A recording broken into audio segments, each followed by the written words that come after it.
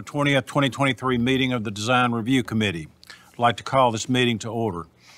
The DRC is the Subcommittee of Historic Zoning. The meeting is informal and designed to guide applicants through the process of obtaining a Certificate of Appropriateness, or COA, for projects within the city's historic districts in light of the Historic District Design Guidelines.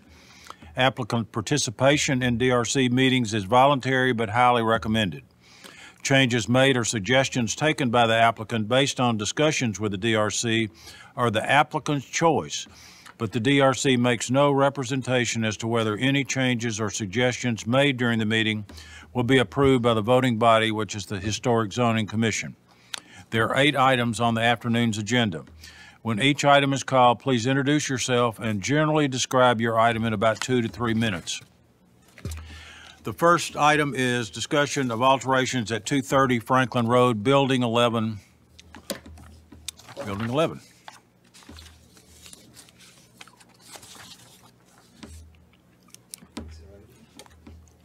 And make sure you, the button's on so the green light will come on.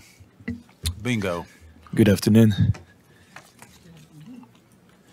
My name is Victor Lecoffre. I work for Anecdote Architectural Experiences, and I will be the owner representative for the Sapphire restaurant. Okay, great. Welcome. Thank you. Um, so, in this presentation, we are proposing a few items on the exterior improvements. This is the site and where the restaurant is located in Building 11. And then on the next page, the list of the exterior improvement we are proposing. And so item A uh, is the storefront replacement um, that you can see. Uh, it's a little hard to see on this picture, but on the next one, next slide, you will see that there is an existing clear anodized um, storefront system that we are um, proposing to change and instead incorporating a salvage uh, existing window from the factory uh, that was salvaged by the landlord, Holladay Properties, as well as incorporating a knee wall with also salvaged brick from the factory. Uh, and so, in the intent to sort of create a symmetry of what is happening on the left side, we are essentially recreating that on the right side instead of um, what is currently there.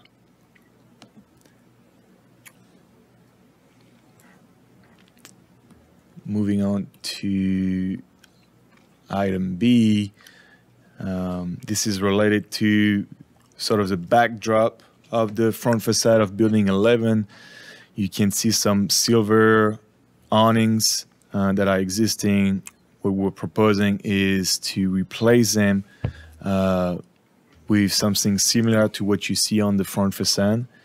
Um, and it is fabricated of C- steel C channel.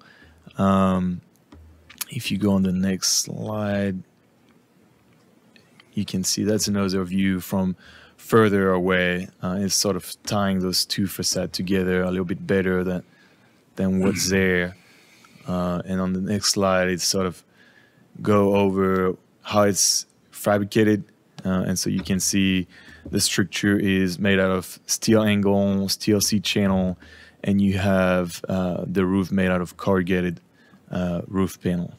So this is what we would be using uh, to replace the silver awnings.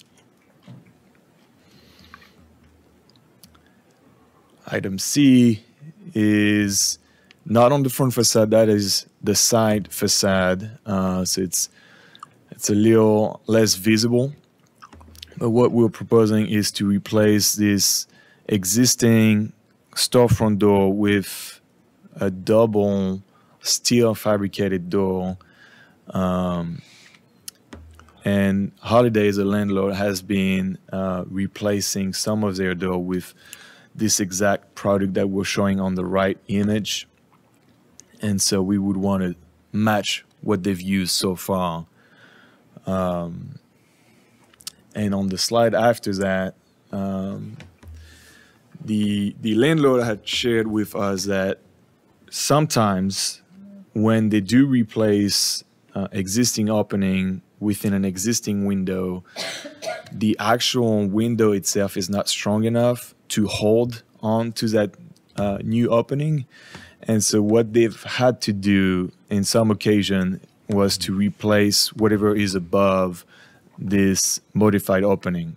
And so on this slide, you, you can see it's, it's, it would be still very close to what's there, except that it would just be a new um, upper window system that would match what uh, the existing mullion design uh, is currently there.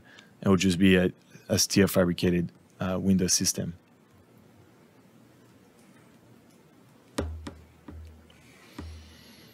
Next item is the proposal of adding three new skylights over the restaurant. And here the intent is to sort of match the existing skylight that exists over the main hall. Uh, the design will be very similar uh, and sort of tie back to the original design. Um, and this is a view from the parking lot um, where you can barely tell that there is skylight, but the intent here would be to match um, the one above the main home. Another view from further. Still looking at the new skylight. And then the last item is um, this will be sort of the back of house of the restaurant. What we're proposing is removing that existing awning, uh, and that big window under that awning is uh, the private dining area. And so the intent here is to uh, bring a lot more daylight in that space, and so that's that is our proposed design. And I believe that should wrap up the presentation. Okay. Emily Kelly? Who? So, um, just to go over, so the storefront replacement of the window here, um, the guidelines would recommend to maintain historic windows and historic window openings. So while the current window appears to not be historic, um, the guidelines would recommend to keep that opening and not fill it in with a salvaged window and salvaged brick. Um, let's see, for the awning, um, the guidelines would support um, replacing the silver awnings to match uh, the reddish brown color awnings that is seen elsewhere on the factory. Then for the patio door, um, the guidelines would recommend the same to uh, utilize um, the existing windows and uh, to not replace those if at all possible. Several months ago, this, uh, not this application, but another application came forth where um, the windows above the door had to be replaced just because they were not they could not structurally support new steel fabricated doors. And so our guidelines would recommend to um, keep those if possible. Then moving on to the skylights, uh, the guidelines do recommend uh, that skylines should be positioned so that they are not visible from the street. I know um, several um, conversations ago, some of the um, utilities on the roof are going to be removed, and so that is a positive. But adding these um, skylights to the roof don't exactly meet the guidelines. Then finally, this awning removal is appropriate within the guidelines and would be supported to be removed. Thanks. Okay. Who wants to start? Kathy. Emily, the first comment you made about the window that they're wanting to replace with existing, that's not recommended by the guidelines?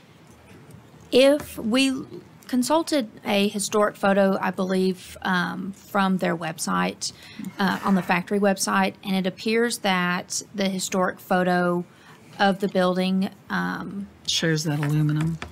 well, it shows that it has the same opening and it wasn't uh, historically just a window. It was just a full opening, kind of like how it is in this photo. Zoom in for us. How it's, I guess, if you could say floor to ceiling mm-hmm. window. Mm-hmm. And so creating a, a brick knee wall and a historic window, while those are appropriate materials to use for this, it's just not appropriate in this instance to maintain the, so- the solid to void. So their proposal would not be supported by our guidelines? Yes, ma'am. Okay. My comment to that is I think it would be supported based on the other windows that we've approved on the front facade of that entire front facade. So I think what you've done is very appropriate for that window. Any other comments on that window? I would be, Susan? uh, yeah, I would be more inclined to support staff's comments on that one. Supported. Mhm, Yes, because I- the thing is, is that we're, we're, we don't want to create this false sense of history. And so we want this to be as close to the original as possible. Brian? So configuring that like the ones down. To the left. Yes, that would be more appropriate. to maintain the large um, glass would be appropriate. It appears that if this is the window, I don't know why this is a blue highlight, something I've done. Anyway, um, it appears that this window right here is non-historic. I would have to go out and verify that, but it appears that it is non-historic. So it, it'd be suggested a pattern of um, windows to be utilized um, in replacement of this if that is being proposed.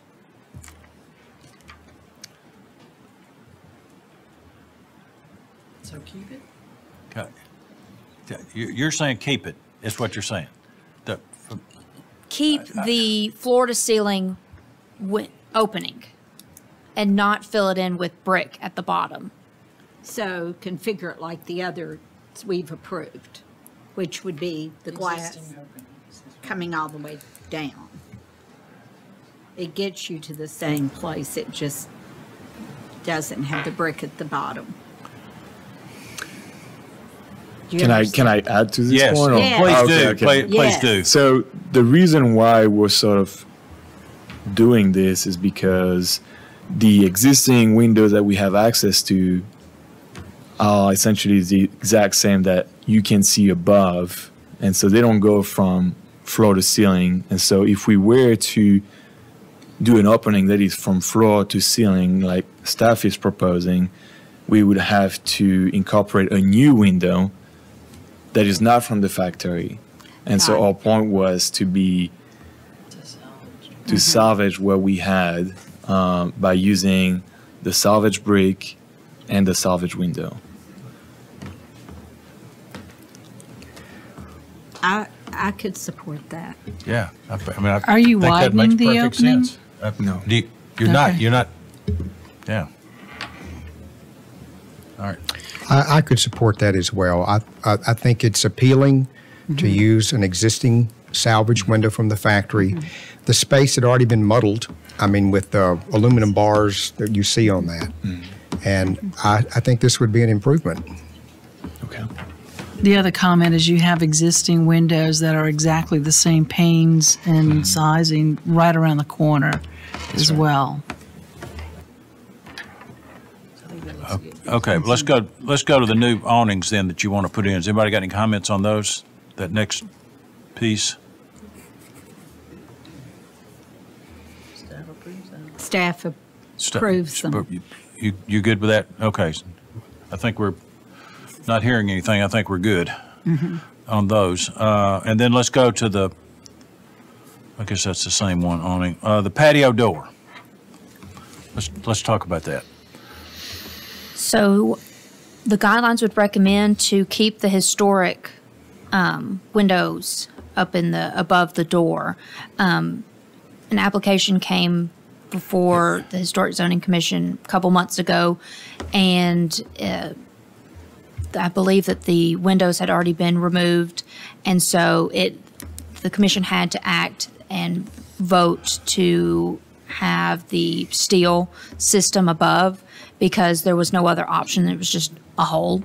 And so the guidelines would recommend to keep these historic windows. But what about the structure above? That's above those doors to add if you needed structural support. The guidelines would not support that. Okay.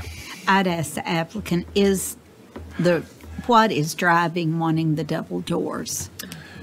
For the use of the restaurant, it would be very hard to service um, One, one the- door.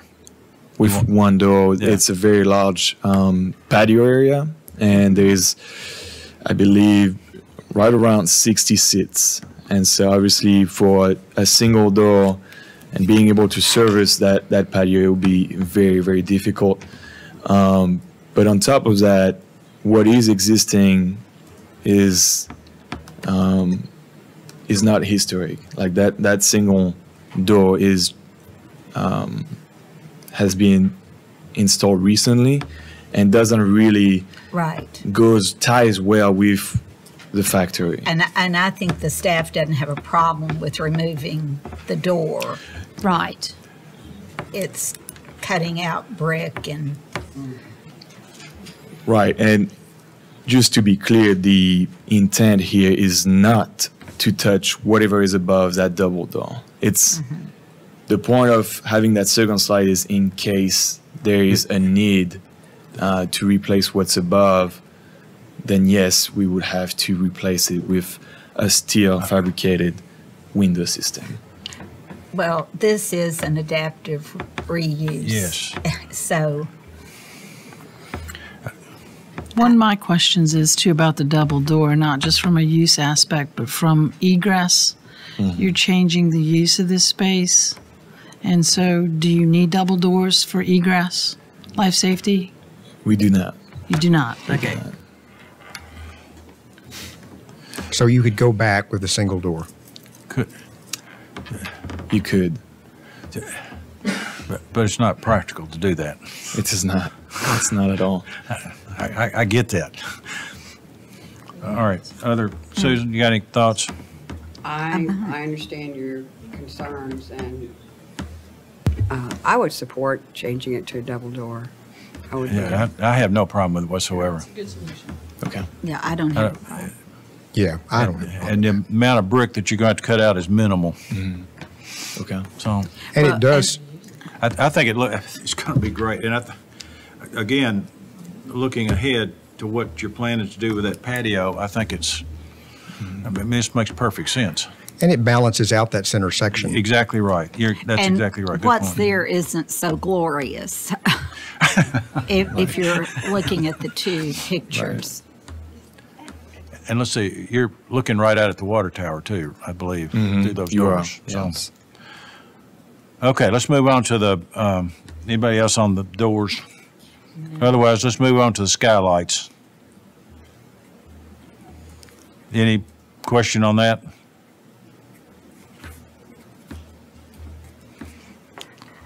Okay, hearing silence, we'll I have a move on to the, oh, wait a minute. Emily, you mentioned that some of the um, HVAC or the utilities are going to be removed from there as well. So those eyesores are going away.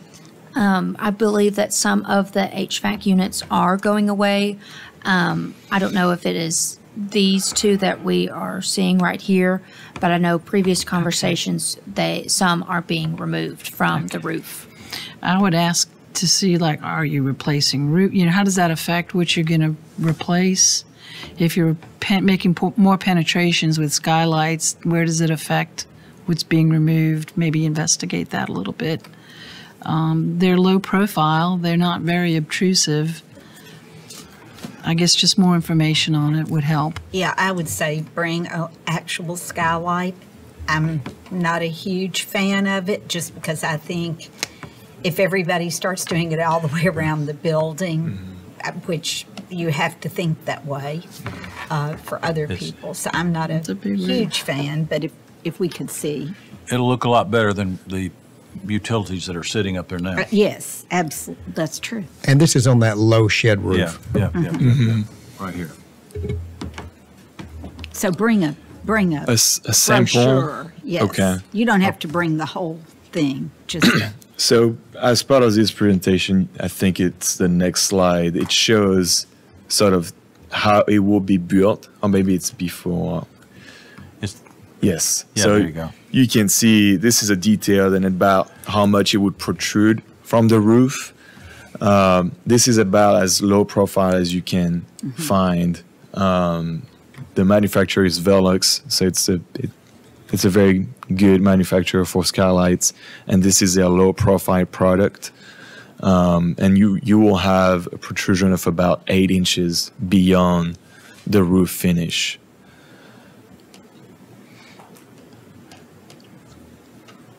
I think any example that you can bring would be helpful, Okay, just to sure. satisfy. Okay, let's go on then to the last P, the awning removal. And I'm thinking this is, this is to the right of where that new patio door would be, right? It's back in a little tucked-in area. That's right. Yes. We, we walked that at one of our walkabouts over there.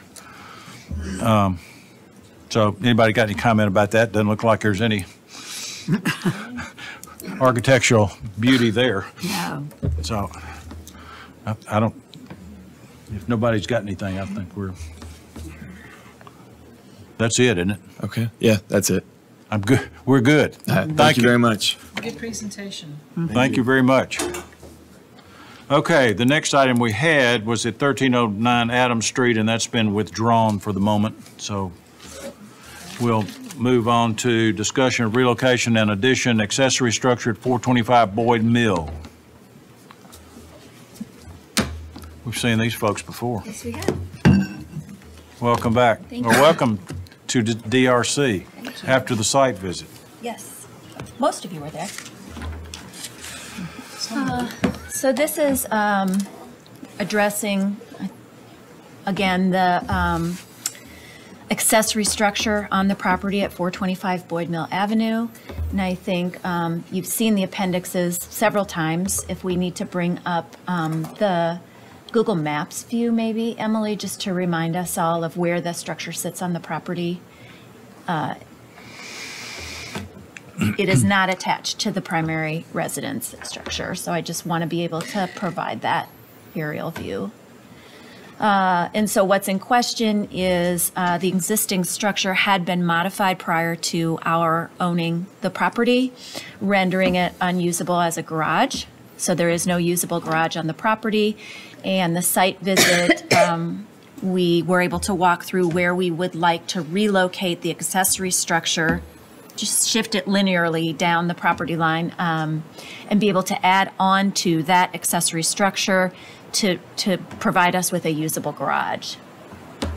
And so you can see the property, this is this, the accessory structure at the back of the property. And if you go, Emily, almost as if you're headed toward that yellow building,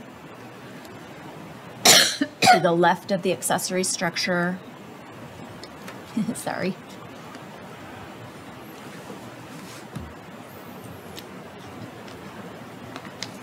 Yeah, so you can see the main uh, residence is the gray house, accessory structure behind it. And then if you were facing the accessory structure, to the left of that is a, a wide expanse of open space. There are no trees, there's no fencing, nothing to remove. And so those of you that were on site visit to the property walked that space and kind of walked, stepped through um, the addition that we are proposing. In addition to what you saw on that day, we have since provided a draft rendering of what we're imagining. um, sort of intentionally incorporating the architectural elements um, that you all pointed out on the accessory structure. So if we could go, yep, if you scroll right down. This is kind of a close-up of what we're thinking. If you zoom in, Emily, on that top left corner.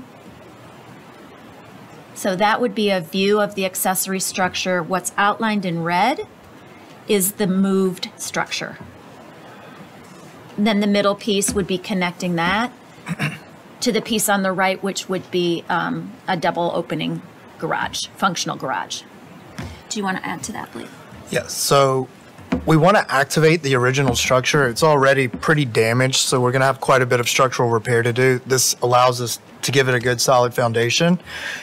And we love the form, so we're we're mimicking that, but the current width is about 16 or 18 feet wide, so it's not functional for a two-car garage. But when you go to the page previous, you'll notice in the rendering from the street view, that's the existing structure. And then when we come over and have it rendered, we're really trying to maintain that presence at the end of the drive and letting the roofs kind of make it a background building and the little dormer is kind of our connection piece. So with the old existing exa- accessory structure, it's about 15 by 15 usable space inside. The hope is to activate that, make that somewhat of a usable activated space, not just a shed or a garage, and then that would be our access point up to the to the space above the Uh-huh. garage. Do you want to go back to the other renderings that show the architectural elements that you incorporate? Yeah. Yep. So here you can see we're bringing in the corbels and the beams, maintaining that same structure. Uh, we're maintaining the original door, except in this case you can see it open. We're imagining putting that on a barn door type system so that it can shut and look identical to present day. Uh, but when it's in use, it would open, slide over, and then become kind of a, a livable front porch maintaining the same material palettes on the new doors, the garage door that we're adding so that we can maintain the, the tight pattern will be a pivot type, not a, a overhead door that we're all familiar with, but more of the historical kind of, it'll raise up and pivot so that we can put the beadboard on that at the diagonals and doing it in a smaller version in the middle garage door. Small dormer on the front, um, and then a little bit larger dormer on the rear so that we really have that story and a half look, um, but maintaining the street elevation.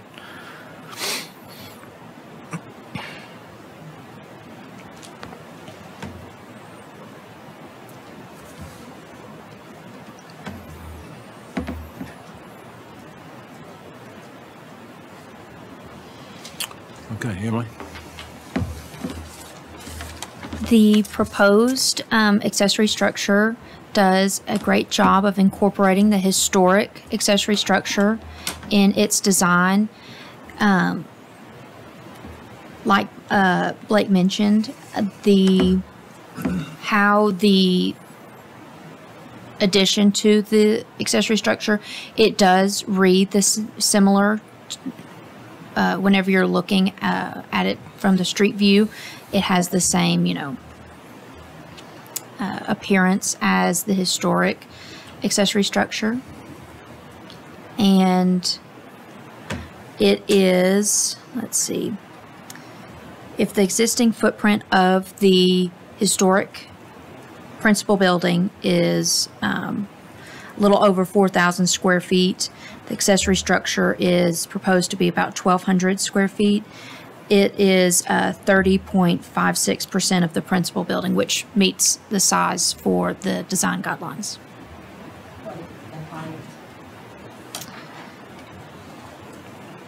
The height is subordinate, and so it does meet the design guidelines for height. Anything else? Okay. Sue? Uh, So is this a three-car garage then? No? So it would be a two car garage that's at the end of the driveway access with a section in the middle, but its intent is for lawnmowers, things like that. So it acts as quote unquote the shed so that we can activate the or- original structure. Okay. All right. Thank you. Brian? I think you've done a great job in incorporating the original outbuilding and its design for the house and your new accessory structure. Um, I, I know the talk has been has been made about demol- dis- dismantling the little accessory structure. What I'd recommend is that that you have someone come out and take a crane and basically just pick it up and just move it. Because my concern about about dismantling is demolition. And once you get a C, certificate of occupant, certificate of appropriateness for dis, dim- dismantling, it's really demolition. So I would recommend using a crane or something else to move it instead. Noted. Kathy?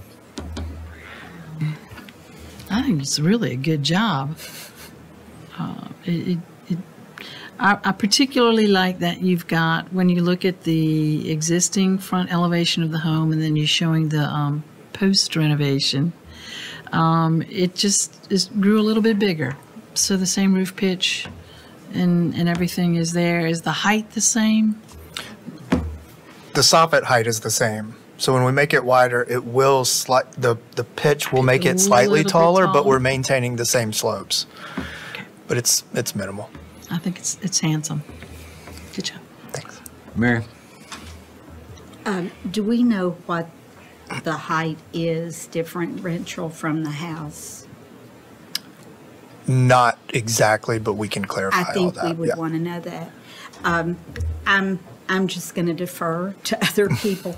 I personally um, don't think it's best preservation practices because I feel like that the original structure is so knitted in to the new structure. The new structure is lovely, but it's so knitted in that um,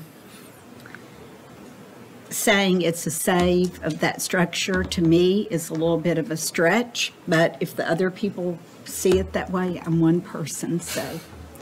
Uh, But I do think, just as a new structure, uh, this fits in to your historic home and the neighborhood.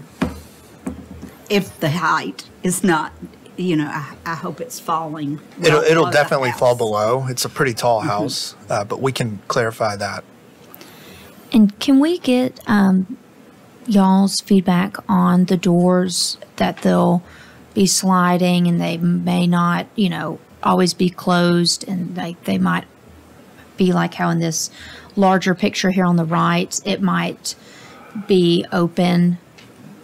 Can we get y'all's feedback on that?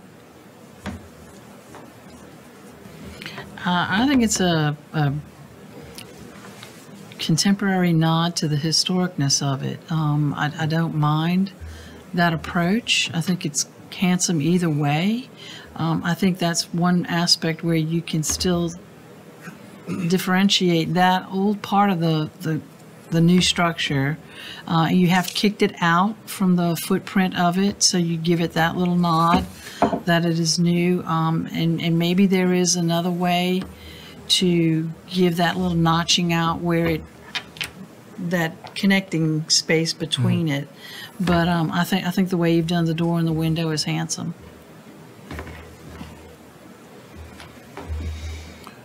Okay, so uh, the the current structure, you're going to actually move up and move over.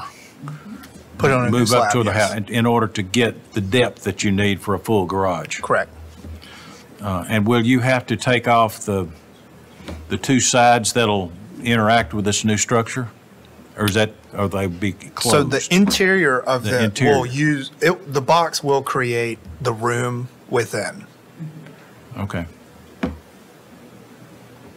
And then since it comes forward, uh, our intent is there will be a small addition off of the rear, but that's where we can then incorporate our stair, but truly use what is now effectively a shed as kind of a Living living space. space. and and you'll still meet the um, setback requirements off the Correct. And side. so, on the new part of the garage, are you saying the door will open like that? Correct. So there's a, some of the original garage doors would pivot and slide Oh, yes. up. I've So it would- lived with one. So have to be I that. might, just for your sanity, see if there is another solution, having had one of those. Mm-hmm. Uh, the water would fall all over me. Uh, When it did that. yeah. If you, if you could figure something that would work Sure. just as well. That's just, that's not a design thing, it's just a livability. Okay, any other comments, Susan? I do. I want to piggyback on what Brian and Mary said, and I think that, and I think overall it is a great design, but I'm really concerned that it is knitted into this, into the overall, and so the, the building is really lost in that.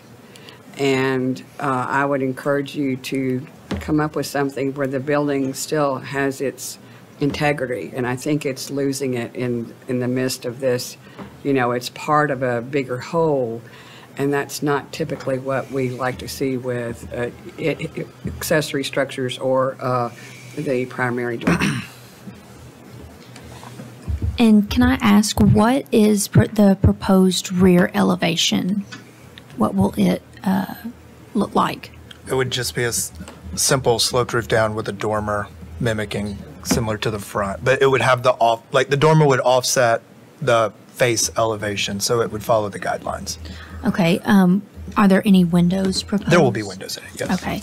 Um, I know that the zoning ordinance does require that like major windows should face inside the property, Okay. not to face onto Neighboring neighbors. property. Okay. So, And I think that's a good, that's a good point, even for the homeowners, because the way they did Benelli Park, the house that's right behind them, I mean, it mm-hmm. really, it really encroaches on their, their privacy in the back.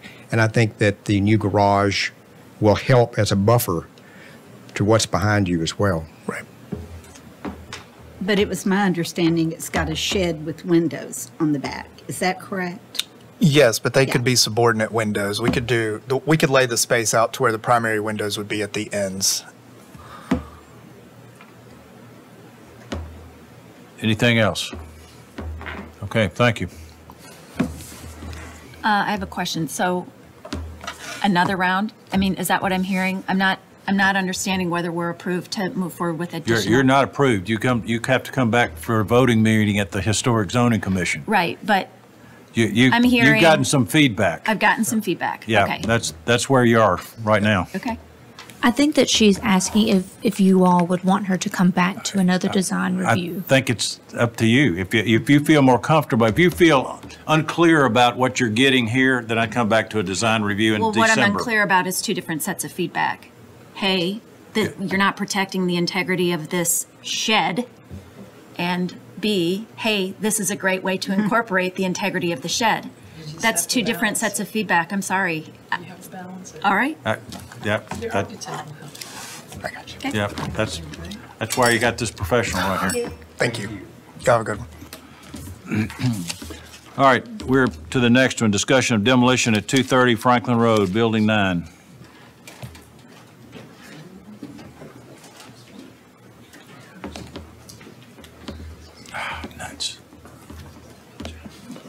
Oh, we got the whole crew. Oh, wow.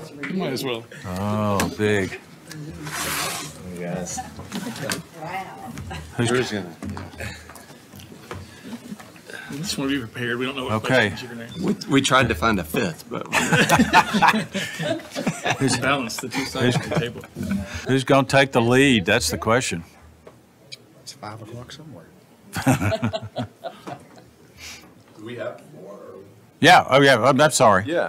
Um, uh, Benton Smothers Holladay Properties representing the factory. Um, the the um, so we're talking about Building Nine. Um, so this is uh, originally built as a pole barn in the mid 30s. So this is you know 85 years plus um, pole barn.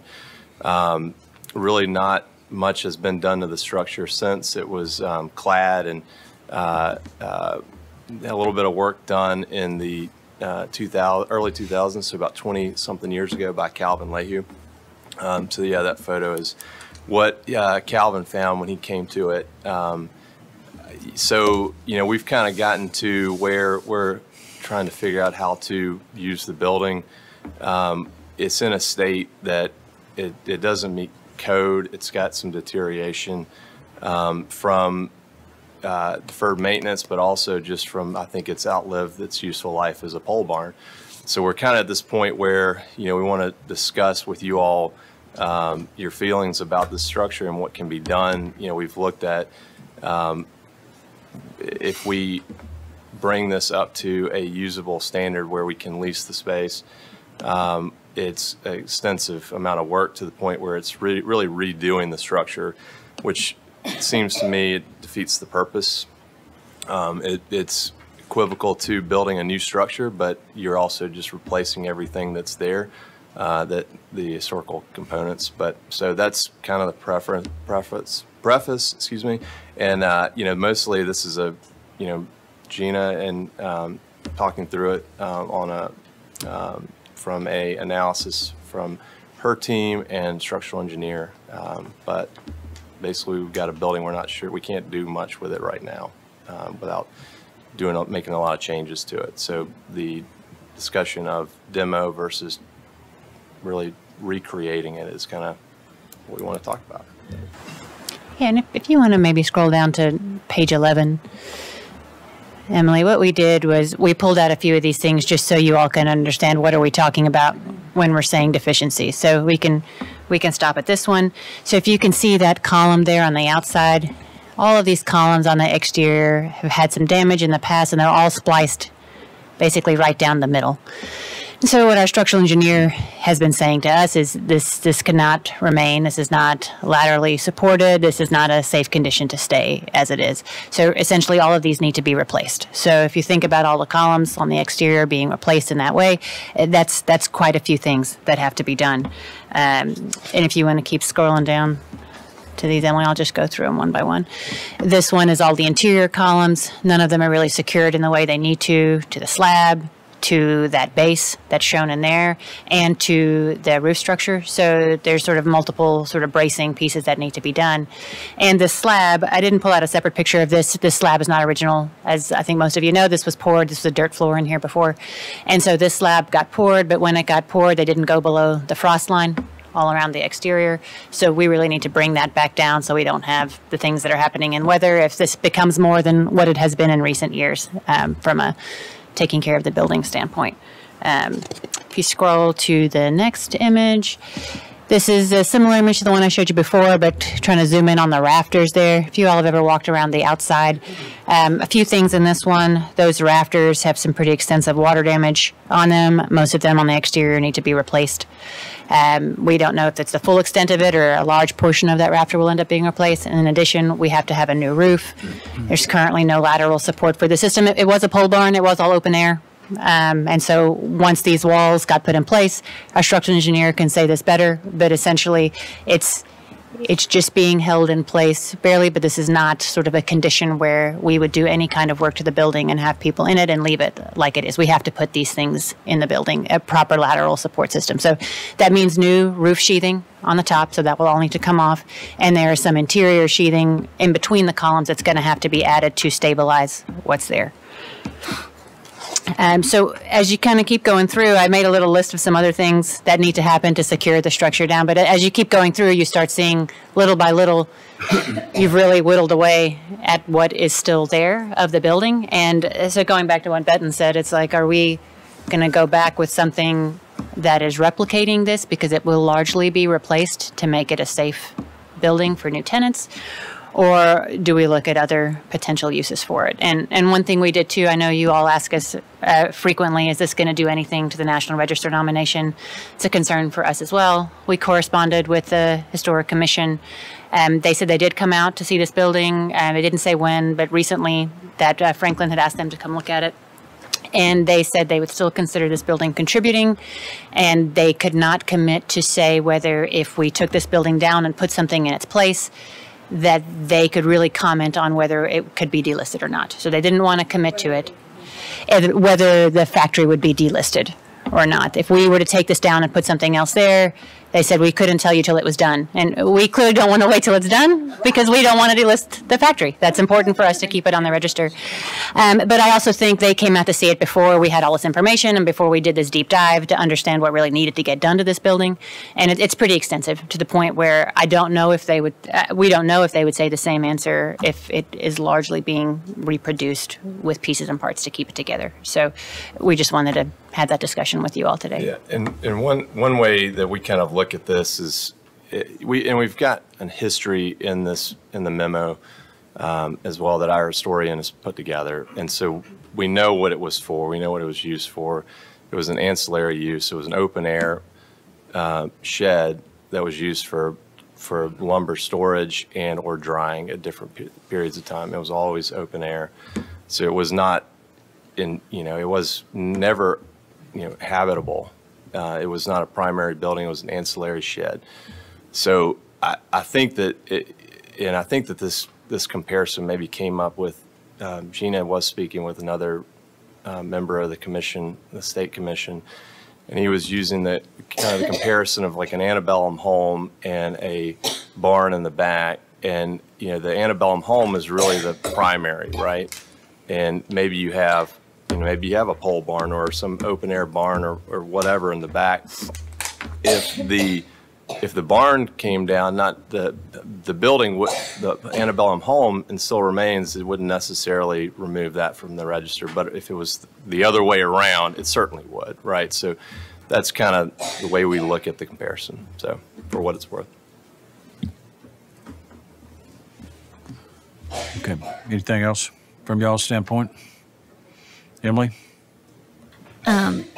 just wanted to reiterate um, what Gina had said. Uh, we had reached out to State Historic uh, Preservation Office to see that even though there had been uh, the wood walls installed on uh, the the pole barn, that it would still be you know contributing and everything. And they did say that even though th- there all these you know alterations had happened, it is a contributing structure, and um, they do consider it contributing to the factory campus.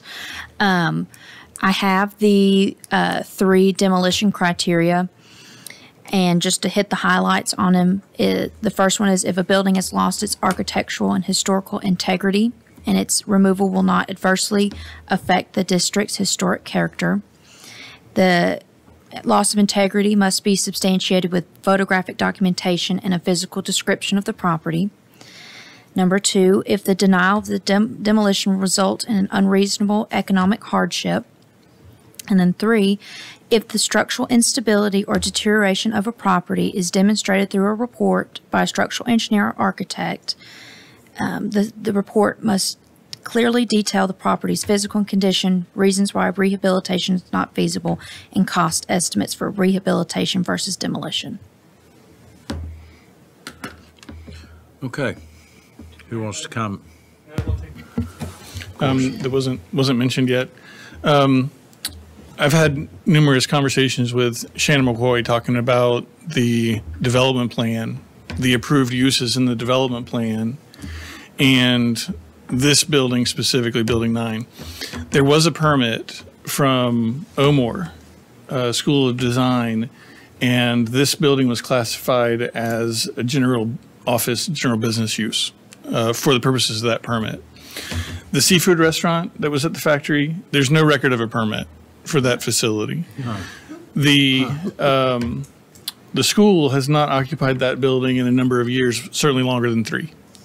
Um, Any use that is an approved use, uh, other than an outdoor storage use, which is not in our development plan, um, would require us to upgrade this particular building to meet current codes for assembly, for restaurant, for retail space. Uh, There's a very high bar in Franklin for, um, I would add Safety. office to that. We did talk to our structural, and he said pretty much any use that's going to go in here, you're, you're going to have to. any of the uses permitted in our PUD, or we're talking about massive upgrades. So this isn't just about a restaurant or having a new assembly space. It's, it's far beyond that uh, at this point, so. Did you have any comment on? I do. situation? So I've spent a lot of time in this building, a whole lot of time. and so I have a I have a connection to it. Um, but I would certainly hate to see it demolished. I'll, I'll just tell you because, and I, I think the thing is is that there's there are other there are uses that could be, uh, you know, like open air market kind of thing. It's just you know I'm just really having a hard time with demolition part because I feel like that there's enough there that it should stay. Thank you. How, how many years ago was, did O'More occupy it? Uh, we moved back, we had to, they changed the lease agreement. And so we wound up moving back to the campus. I want to say that was around 2016 or something like that. It was before cash and checks. maybe Yeah, it's 20 probably somewhere- 2015. Yeah, 2015. I have a question. Yeah, it's been several years. What's the story y'all want to tell with this space? Is, is an open air market something to consider? Is that a use, a, a viable, you know, approved use? One of the criteria, um, as Steph mentioned, was um, that we need to have a proposed, um, I guess, alternative site plan. Um, we didn't do that for this DRC meeting because we didn't want to be so presumptive about this building. Um, it, uh, the factory in, in its whole is a jewel uh, to the city of Franklin, but also to Holladay. It's very unique, and uh, they wanted to approach this the right way. So we wanted to talk about the structure itself first. Um, we really haven't considered uses uh, that specific. So, was there anything you want to add? I mean, I think the, I would, w- as an open air market, we're going to be, we would have to do a lot of this. Still work. have the structural Make- issues. I think you're, you Still can't have you would, people in it. yeah. And so, I mean, to turn it into that, it's got to be taken down to rebuild anything there. I mean, you're, when, when you look at the extent of what has to be replaced, you're, you're replacing 90% of the building uh, to bring it back to anything that you would, anybody that would write insurance policy would allow us to put people in there, right? And so I think that's, that's really the issue. And so do we have ideas of what could be in the, in this area? We do. Um, And, but, you know, we, we, I don't think we haven't, we haven't had a big secret that we want a hotel on the site. This area is part of that location.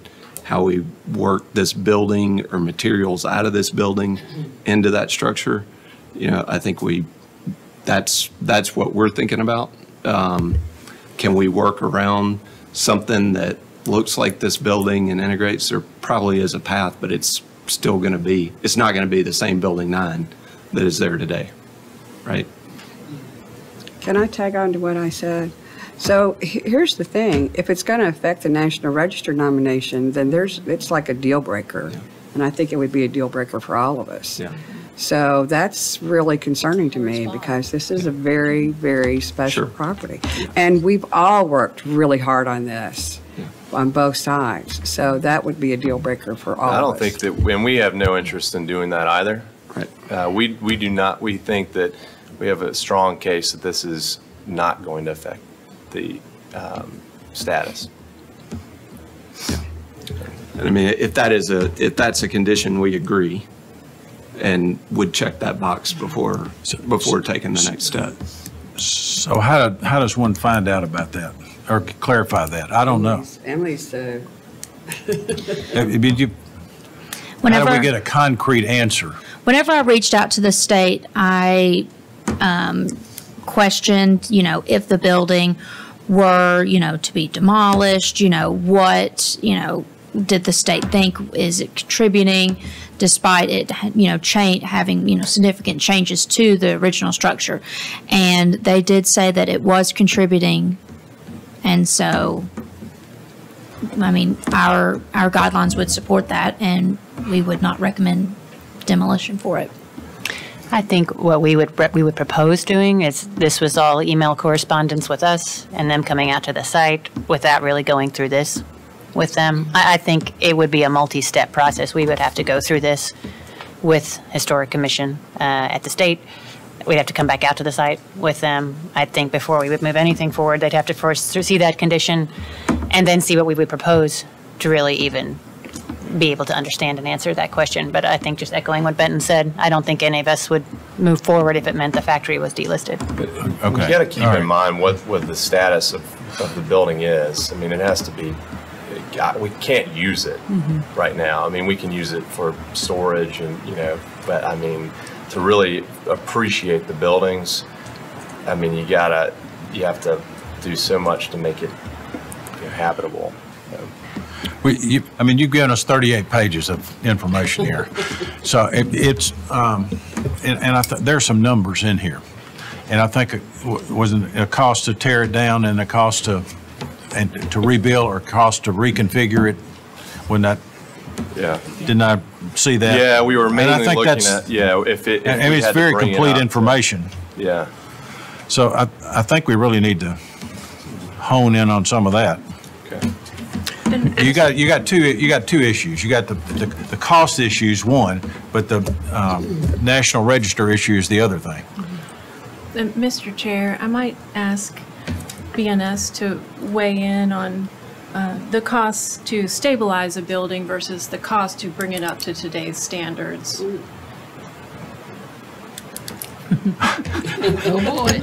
Not to put you on the spot, Brenda. Uh, It's, it's all right. We, we typically do not get into the cost estimation portion of this. I've met with these gentlemen on site along with my assistant director, and Jared was along for that visit. What they were advised that anything is regarding demolition would have to come back to the commission, and they should start with Emily and, and their staff first. Uh, it was referenced a couple of times, you know, the fifty percent that sometimes comes into play with residential. And I did say that I do not recall since I have been at the city of Franklin, I've worked extensively in the historic district since I have been here, that we have, uh, demolished a commercial building. Now, that being said, the building, we did not do an inspection. Obviously, this building has sat for some time, and there are things that would have to be attended to, uh, the code-related. But we did not go through and make a list. That's not what we were there for, is just to advise. We did not, uh, we did not advise that the building should be torn down due to the condition of what they were advised, depending upon what use you decide to move into this building at some point in the future as you renovate, then those items would have to come to current code to, to meet whatever the use was at that time. Right, and that's, that's what they've said a minute ago. But I think you've got, you've, you've got some numbers in here. Um, Yeah. I can't, The numbers are, are for us to do just, just that, to bring it up to code. I think that, and the numbers are, you know, that, that's, I guess that's part of the story, but more than anything, it's about what does, if we go and spend that money, what do you get? I, I, I get it. Yeah. It's a cost benefit, so it's, um, Well, aesthetically too, because you're not going to really retain much of the, you know, the historic fabric of the structure. My, my only comment, Mr. Chair, would be that for demolition on this commission is a very high bar. And I think staff laid out the criteria, and I think those are what you'd have to address and convince the commission that, that those were valid. And I think that's kind of where we are. Well, I'm, I'm looking at a letter from Solomon Builders that it's about $2.6 million. Yeah, it's about, it's about what it would cost to build a totally new Class A building too, but yeah. That's, so what, um, what the, the background behind that is, um, Gina and her consultants put together a plan for what this building would need in both structural and, you know, kind of bring all the stuff up to code. That, and that, that, um, plan was what went to Solomon to price it, so. it's- That's, that doesn't, that's not tearing it down, that's not building something different, that's just bringing it back up to, you know, where we can actually lease it and use it. Yeah, And then the mean, question for you is, what are you going to get for two and a half million dollars, or $2.6 million? Once you, once Yeah. you get it back up there, what can you do with it? You're going to get a replica. Yeah, building. It's not yeah, going to be, but- but- it- yeah. But the use of that, that is Any- what, for I your mean, It'll be ready for any of those uses that we talked about. Yeah. Um, All right. It'll just mirror, it, it, it won't be the building that's on the register. Mm-hmm. right? It would still, it would still not be contribute. I, I don't know, maybe it would be contributing if you replaced it board by board, I guess. That's a good question. We'd have to Um, find out. You could um, ask Don't know that. that answer. Yeah, i- if, yeah, is there a threshold of replacement that, How That- much fabric can be It, replaced? it's sort of, it's, it's, it's, you know, it's, it's a demo, you're demoing anyway, right? That's right. I mean, that's kind of what the point, I mean, you've got to take a- down a lot of that structure and reconstruct it. The foundation's coming out, the, the roofs? Is there it's a new something roof. that we, c- you can ask us more pointedly? Like, what were you expecting us to say? I mean, you know, historical register, strong against demo. Wh- What else can you ask of us? I mean, that was, haven't asked us. Mary's comment was a good one of, uh, is there, is there a threshold that it, it might be contributing, but if practically you got to replace 75, 80% of it to make it functional, what, what is the, what's the tipping point there? I mean, the, we could, you, you know, one of the, the things we, we talked about is you could take the exterior walls off and park under it, but I don't think anybody wants to see that be the use of building nine, right? I, otherwise, I don't know what you can insure. I mean, really, there's not a, there's not something that Do anybody's gonna, in the condition that it's in. plan? Do you have a plan for what you would want to do there? Yeah. I mean, that- I think you stepped out when we mentioned that. I mean, Oh, excuse we, me.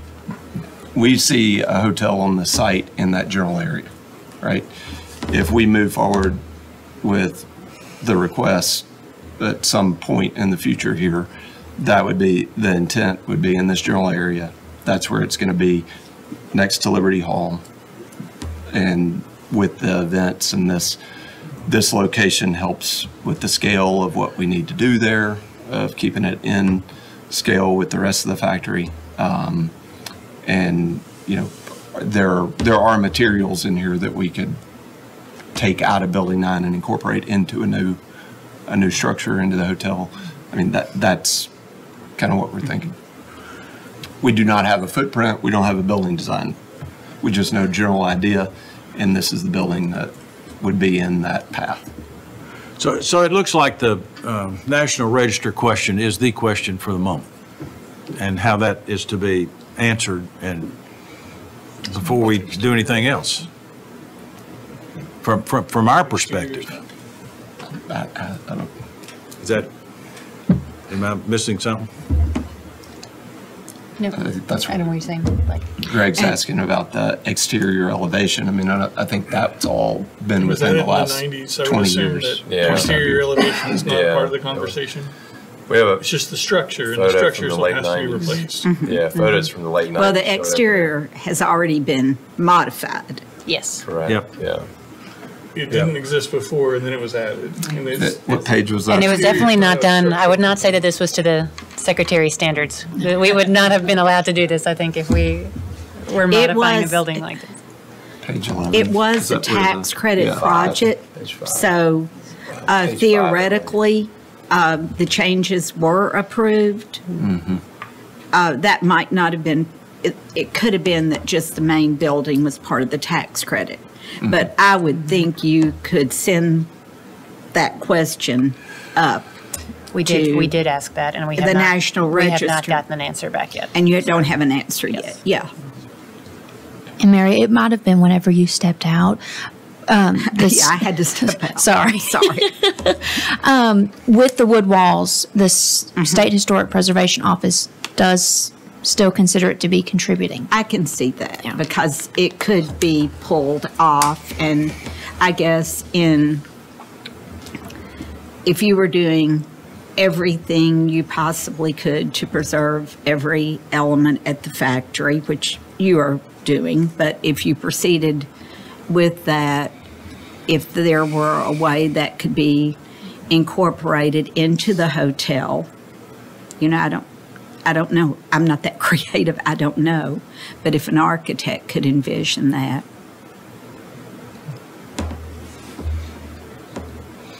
Okay, is there anything else we can, offer to these folks. When you I say don't- incorporate, you say, are you saying? The form, the form. The form. The Got it. form. Mhm. The only thing I would say is the documentary that you all did wa- on uh, Yeah, Calvin super. and Maryland was stunning, so thank you. Good. Okay. I know if nothing else we can add. I hope we can work it out, though. Yeah, that's good. Okay, All right, well, thank you. Thank you all. See, that's the last one. Mhm. It's up building. Okay. Discussion of addition principal at 328 Franklin Road. Matt Christenson.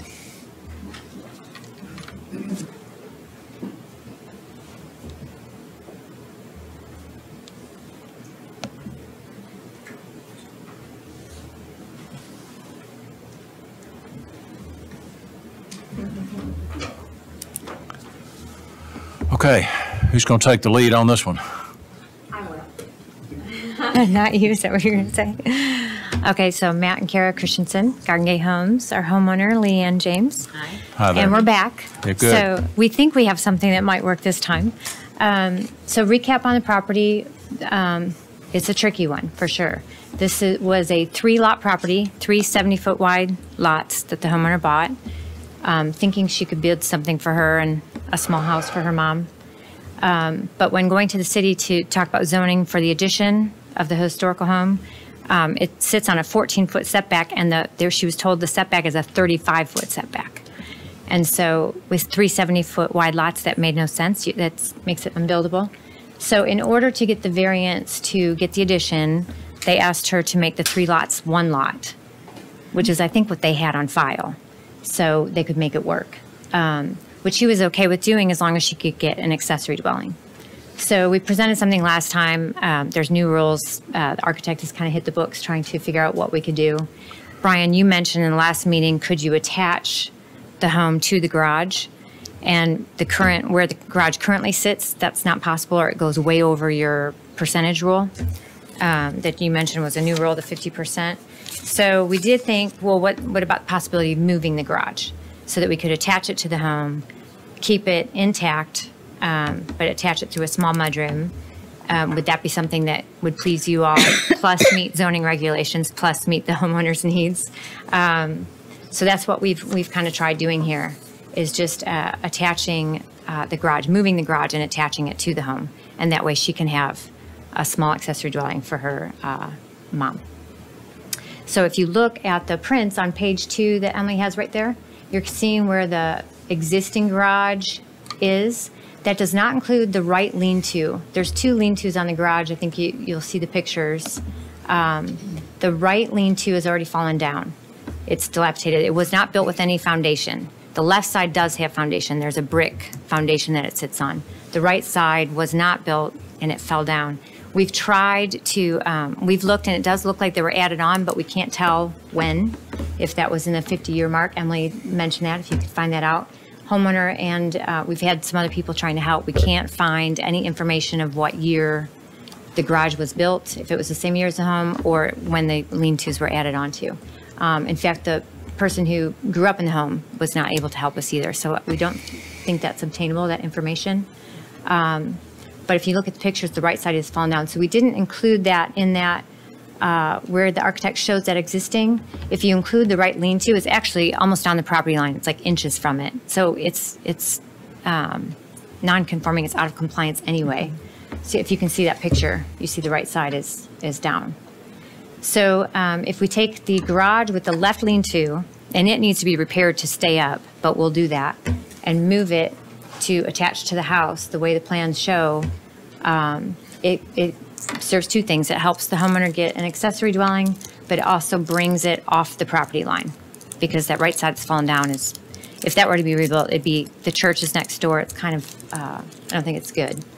Um, so it kind of helps both those things be met. Um, the other thing we did to the plans, uh, the last meeting, a few people mentioned that the back looked like a two-story building, too tall. So we brought that roof line down and made the windows smaller, so it looked better. Um, so we've done that, and then we talked about adding the awning over the front door uh, for weather, and we put a small little awning over that front door. So that's really where we're at today, and we're here to get your feedback. Okay, Emily? So, with the, let me scroll back up to the first page. The existing footprint with adding the heated and cooled breezeway. The existing garage then will count as part of the historic footprint. So therefore, the addition can be a little bit bigger. And so, as it sits now, the um, addition is 55.5% of uh, the existing footprint. Let's see. The awning to the front, as we have discussed in previous design review committee meetings, is um, appropriate. Um, the adding the screen in here to this little um, little breezeway that is also appropriate within the guidelines.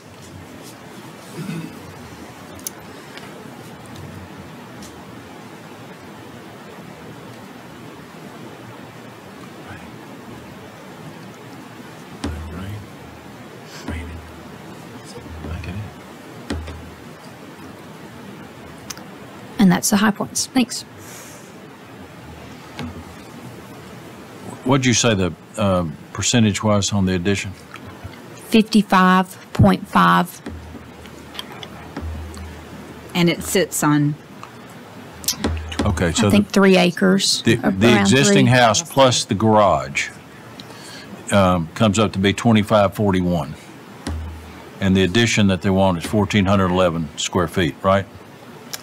The, the total addition footprint is 1411. Okay, that's what I mean. All right.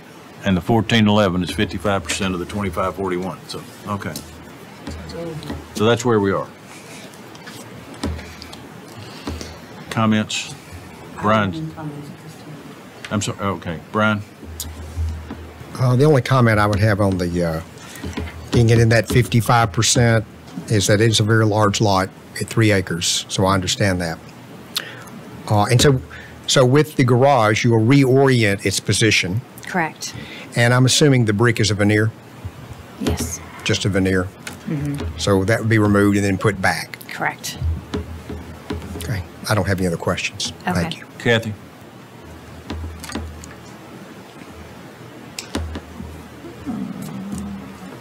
I think it's looking a lot better. It doesn't? Um, and and I think the elevation's very attractive. Um, it's over five percent. All right, close to that. It's a little over. It's 5.5% over. Okay. I mean, you do have a huge lot, but I could be forgiving on that, but it's always nice when you try and meet the guidelines as best as you can. So it, tweak it down a little. I don't know. But um, it's nice to have that incorporated breezeway. So the, the bonus is you got the garage added in Yes. to the overall square footage. So you that was to your favor. Yes. So that was great. So, What What is the lot coverage um, of the combined structure now? Do we have that somewhere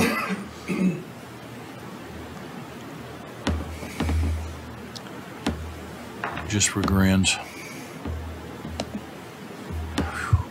I get this thing to work right?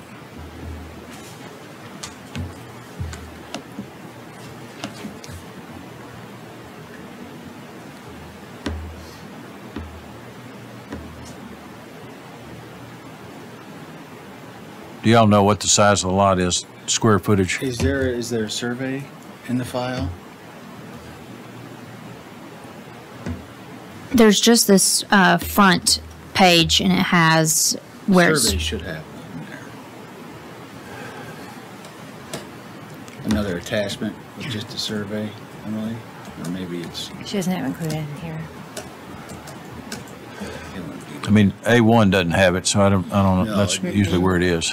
No, it wasn't in this submittal. I think Oh. it might have been in y'all's. We'll just, the we'll last need to know year's. that when. I think it w- was back. last. Last time, but we didn't have it in this meeting. I think it was Sorry. like 11 or 13 percent, somewhere around that. But 11 for the- seems to be a theme we've had on several properties, so it, we'll just need to have that when you come back. Yep, got it. And does this allow you all to build a second structure? Correct. That solves the problem. Um, I would have, but you couldn't keep the garage where it is.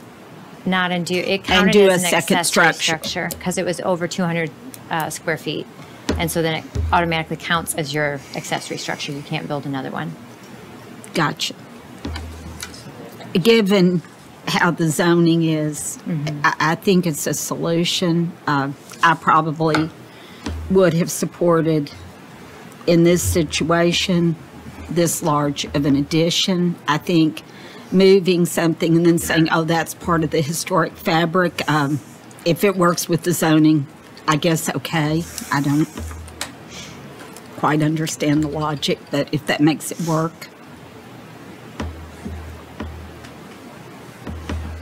Okay, anything else? I just have one question. This would be on, on the back, so it's the shed dormer. I notice it has a low slope rubber roof. Correct. W- Would that have been your first choice? No, the architect suggested that.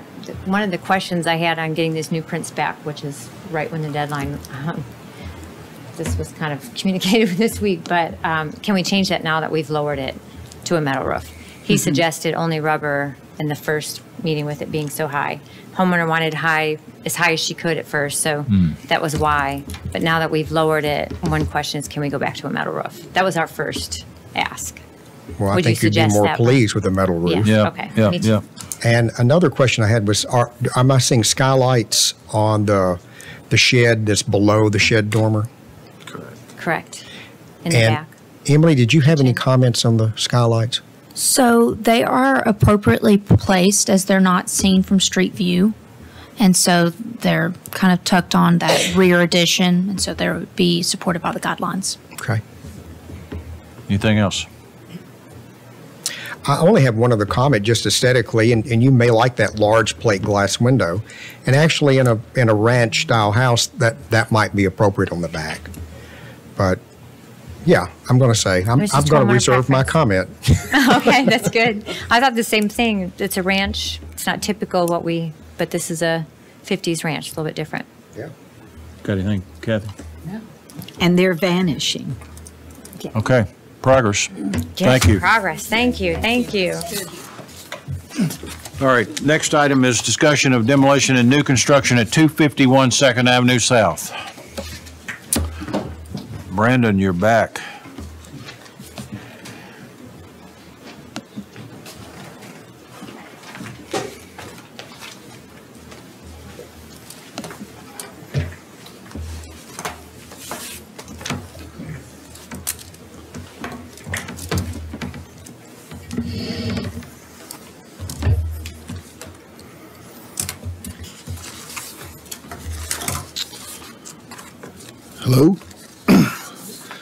So, we the information we provided, we kind of created a couple uh, couple different pieces. I think we wanted to look at the assessment of the existing building first, and then we can talk about the potential future use after that, if that's okay. this is Troy Van Leer. He owns property.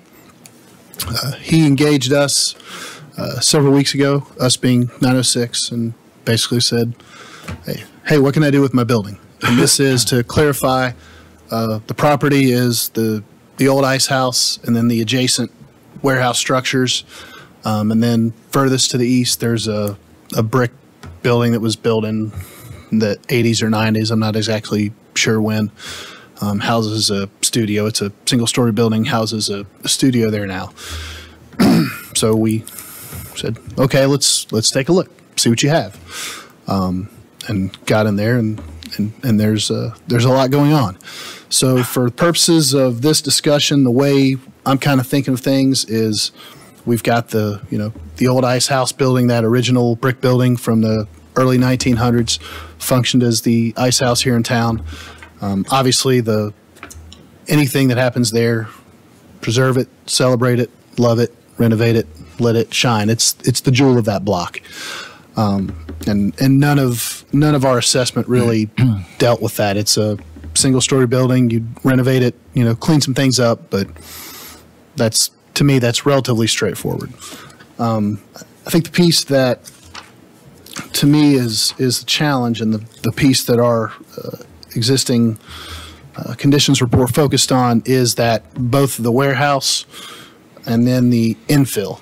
So, in looking at historic photos, we had that warehouse that was built kind of in the middle, and then they came on later and added on an infill piece that connected that warehouse to um, to the ice house and actually came over top of the roof. You can get inside of that, and there's there's an image we had. You can see the stick framing and actually walk on the old roof uh, of the ice house.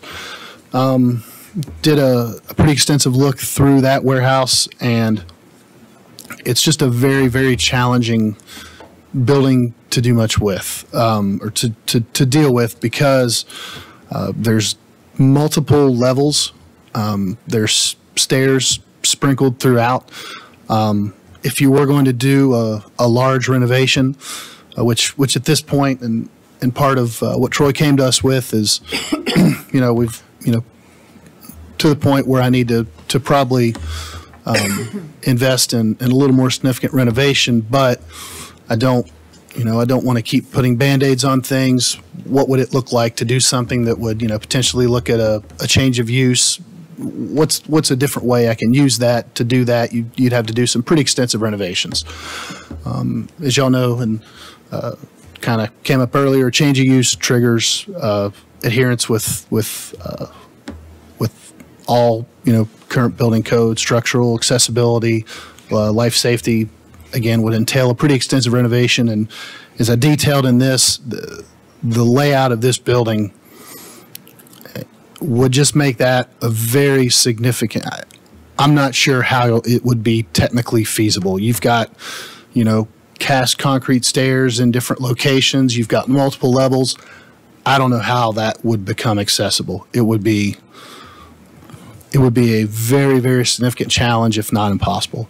So with with all that said as as we looked at it as you know the, the existing structure there's some steel there's places where they've cast concrete just a very and, and typical of, of a, a plant like that. It was a disjointed piece then they built on as they needed to build on. They they did things as they wanted to at a time. It it creates a disjointed overall feel and makes it very difficult if you're going to come back um, do a renovation, give that a new use, and, and have a more cohesive layout, you would just run into some real technical infeasibility. So with that, our our uh, our our overall kind of takeaway was, um, uh, I think uh, I think it would be difficult, if not impossible, to bring this up to a code that will let you do a use uh, like, say, uh, you know, a full business, you know, a full office space, um, uh, you know, multifamily apartments, any sort of use.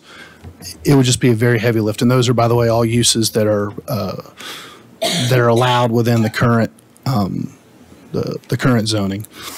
Um, so, and and again, Brandon, let me, let me stop you right here. Yeah. Orient us to what we're looking at on that, on this side, the overview here. I see the ice house, I know exactly what that is. Okay. The next is showing a 1951 addition, Yep. and you were mentioning warehouse. Is that the That's, warehouse? that's, that's that. Well, the 50, yes, the 51 is the warehouse. Yes, Is the warehouse, and then the blue. That's the uh, ice house. The, the, the blue addition in the, next to that, right behind Dixie Poultry Processors. Yeah. Is that part of that warehouse too? No, Or for reference, that building? was, there was an, exa- that was just for reference. There was an old building there that was torn Okay. down many years ago. So the warehouse is that middle, the white, the infill is the gray. That's the piece that was added on that connected that warehouse to the ice house. Okay. And then the blue hatch behind that, that's the 1980s, 1990s edition, kind of the, the brick Okay, skin piece.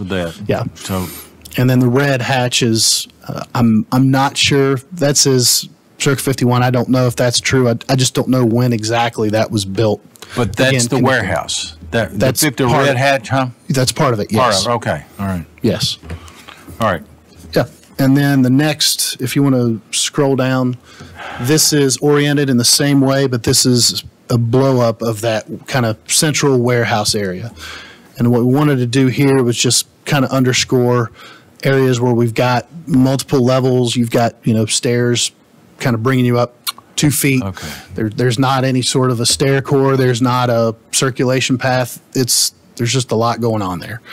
Um, and I, without, this was the clearest way I could think to, to communicate That- That's that. fine. I'm just trying to make sure I understand. Yeah, absolutely. What's that? A little bit. Um, The levels. yeah.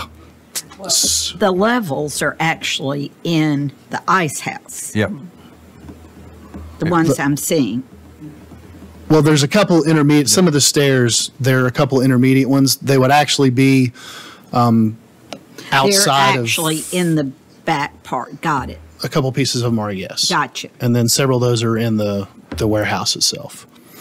And part of those would even be, you know, if you would expose some of those stairs where you have some level changes, you know, if, if you did something with the warehouse. Um, so we, again, kind of outlined some images. Again, part of that evaluation, just the, the streetscape is what it is, not ideal.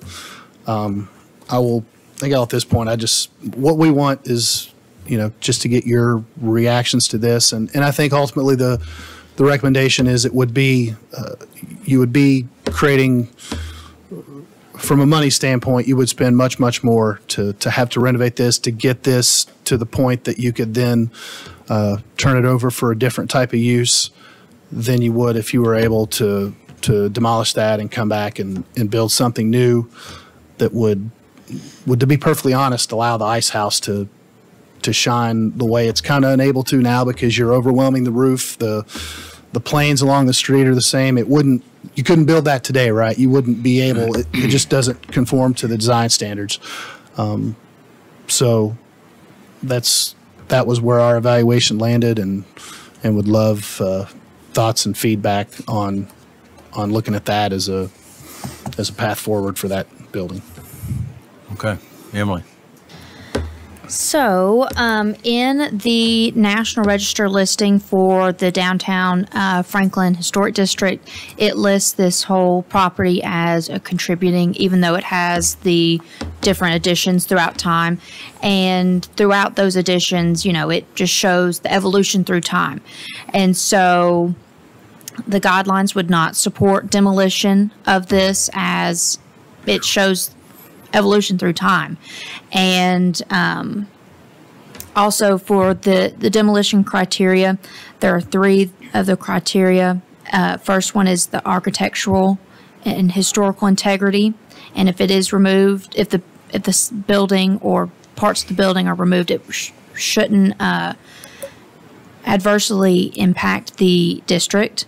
The second is um, if if denial of demolition it will result in, in, in an unreasonable economic hardship on the applicant, um, then that is one of the criteria. And the third is if there's structural instability or deterioration, but it has to be demonstrated through a report by a structural engineer or architect. And then um, with a with it being detailed for the property's physical condition, reasons why rehabilitation is not feasible, and cost estimates for the rehabilitation versus, versus demolition. And so the guidelines would not support demolition for those reasons. Thanks. And we're in the process of assembling some of the cost estimate piece. Yeah, we've got, we've got some folks looking at that. Um, So, so, so other than the ice house and the antique, and I know there's some, uh, there's some businesses behind there. Mhm. A printing business for one, I know. But what other uses are being used in that property now? Um, so there, well, Troy, I'll let you Yeah. speak to that. Yeah, um, of course, in the old ice house is it's Right. retail. Yeah, right, but right, right. Beyond that, it's uh, it's almost all office space. The Okay. on the far end, it's a um, taekwondo studio right now, Okay. or jiu-jitsu studio. So the space is being utilized. All the space is being utilized. yes, hmm yep, Okay. Yep. Okay, so economic hardship's not an issue. Um, all right, well then cost estimates, I think, are the Yeah. the big thing. comments? Uh, It would be a hard no for me. It's a great building, and yes, there are different levels inside, but that's just part of it. And, and I can't imagine that corner without that building there. That's pretty neat.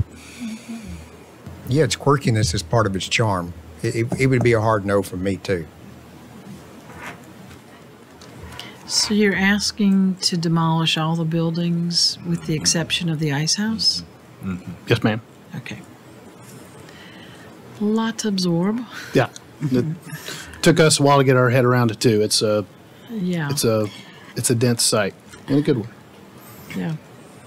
The, the, um, the amount of square footage that you want to demolish that's historic is how much? Because there is, there's a new building Yes. where Yes. that So- printing and taekwondo Yeah. is. So my understanding is the, the pieces, and, and Emily, please correct me, the pieces that would be considered historic are, are really just that, the gray and the white, we'll call it, on, on that site plan. The Taekwondo studio is not. I would, I would assume that's, would, nobody would have, or, or at least I can, I can say, you know, historically, that wouldn't impact have uh, the character there. that. Yes, ma'am. Um, but it'll be that, uh, this, So the the edition, this rear blue edition that says 1980, 1990. Yeah. So that one would be considered not historic, but everything else Is. is, Is. because it's over the 50 years. Yeah, and the red the red slash I'm not positive of, so I'll correct what I said a moment ago. That would that The would be as well. is, I believe, and I don't know the exact date. Uh-huh. Um, I would guess it's older. I, I would be surprised if it wasn't older than 50 years. gotcha. We just don't know if it's you know what that date is. It's hard. There's a there's some images. We've had a real challenge tracking down a ton of information on this. Um, on this site to know when all the different pieces and, and parts came in.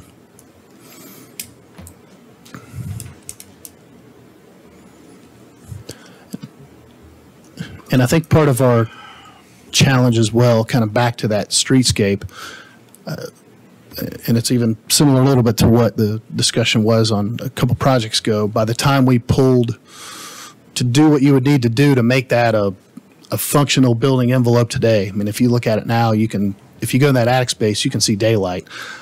I just don't know what would be, you know, there, there'd be some substructure. I'm not sure what would be retained because you've got some, some T111 siding that's, you know, you're not going to keep that. You, you can't feasibly keep that. Um, some metal siding in, in differing levels of of disrepair. Um, it, it just felt like if you were going to do something there that was a, a meaningful renovation, it's going to, it's going to look very different anyway. Um, so that was that was the challenge that we came as far as you know when you're, it's just a unique, it's unique in that I don't it, it would, the preservation piece, I just don't know what you're preserving from a building skin and envelope standpoint. Does that makes does that make sense? Yeah. Yes, I understand. I got to defer t- to my fellow commissioners, though, on the the demolition aspect of it right now. Mm-hmm. Although the concept is really nice.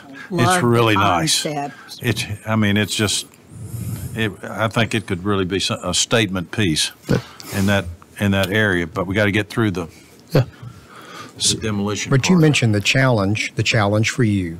Well, part of the challenge for us is if we accept that argument about what to demolish, I mean, you, you could have demolished half of downtown Franklin. Hmm. Yes. Well, So that that is part of the challenge. It does cost to renovate. It does cost to have a, a historic business and historic area, but we reap the benefit in, in other ways. So that that becomes a challenge for us. Absolutely. And and I guess I would argue this one is a little unique in that its its location is, you know, on the edge of that downtown core. Again, back to the back to the skin. You know, you're not talking about coming in with a, you know, a, a beautiful brick building that's gonna that's going to retain that character. You know, once you come through and, and do what you need to do to bring this up to standards, you're, you're going to have all new siding. It's you're going to have impacted that look regardless um, in a way that you, you know, if you've got a building that's got uh, a little more kind of substance to it, substance to it on the perimeter that that you can, you know, it's got some character and you maintain that character and that's part of the story. Our our concern here is that it's going to change it massively anyway and and there's you know back to the the burden you're you're having from from our standpoint design wise you're going to have to make so many compromises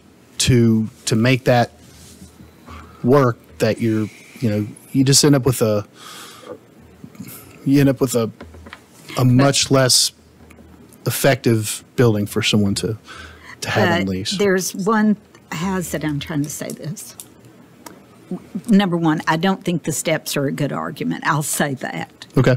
Because um, that's a lot of places. Mhm. So um, I would take that off the table. If we were seeing something that if there was an if there were you know an engineering report and all that and it said you you you you know something's got to happen what i guess when i look at what's presented none of the form is left it's like we're doing another um, completely new building and You're talking about when you're looking at the kind of that next piece, those Mhm, renderings. Yeah, mhm. that's correct. And and that um, that feels overwhelming even if you made the argument i mean if you successfully made the argument um, that this just couldn't be reused which that may not be a stretch. I mean i Yep. don't know. Um, but the departure the complete departure from the form would would be a concern and that would be my would be a big concern for me Okay.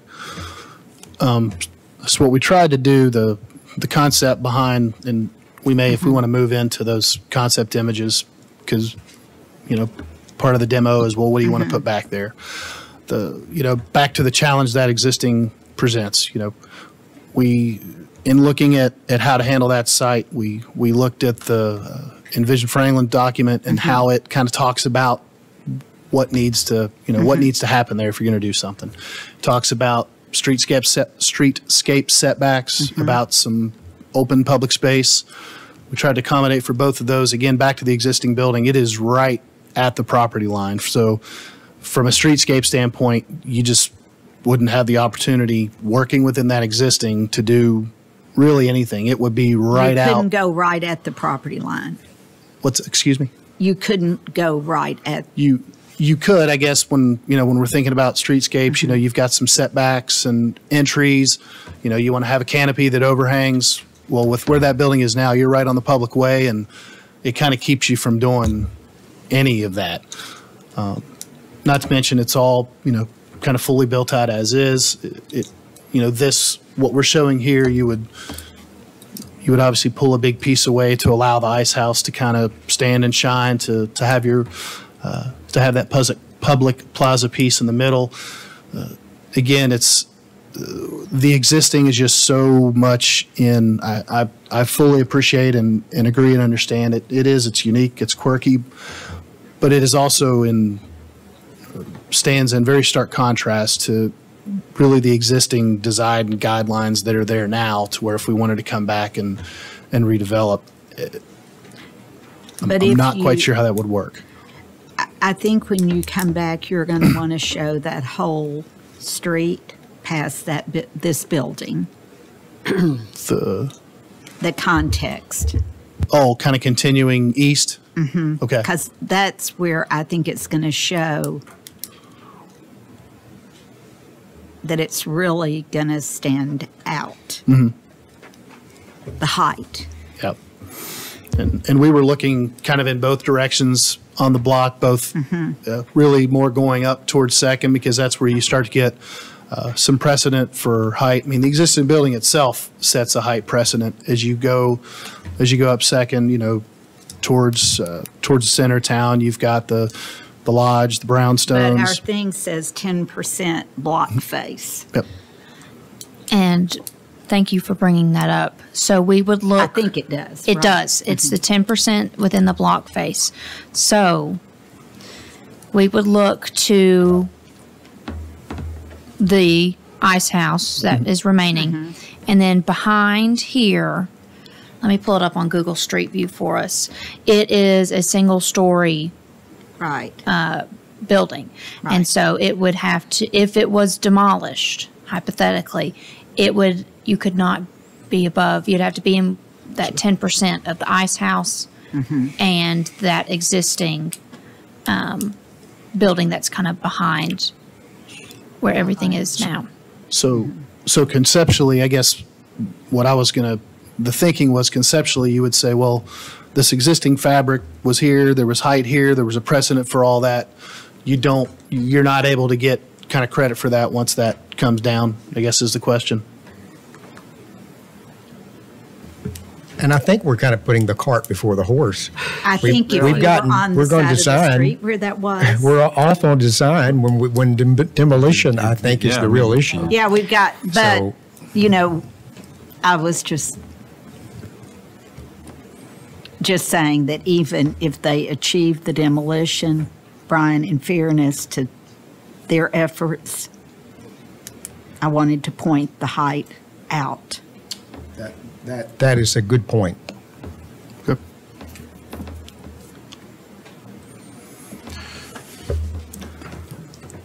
We're to the point then, we got the justified demolition. That's the next step. Yeah.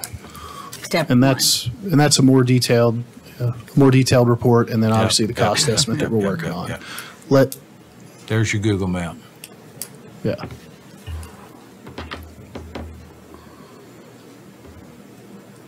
Can we clarify something? So in this site map, the one I'm looking at on page one, I guess, shows the ice house to, ice house to be restored. Is that the case? I mean, uh, what I'm hearing from you is that you don't want to, I mean, I'm hearing two things. No, the, the, I, when I, and I guess for the purposes of the term ice house, I'm talking about the original brick kind of single-story building.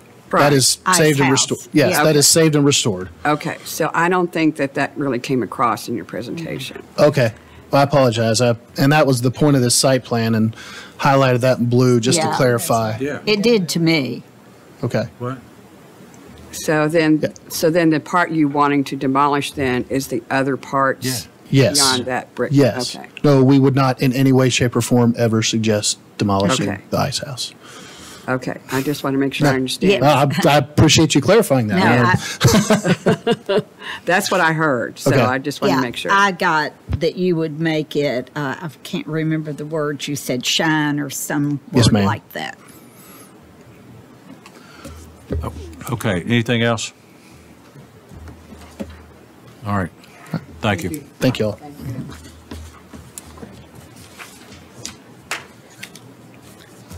How about a break before the next three? All right, need a 10-minute break? Okay. All right, let's take a 10-minute break then. Thank you. Mr. Hathaway's back there, he needs to stretch. You got to watch that guy. Next three coming up. Yeah, I know. Good idea.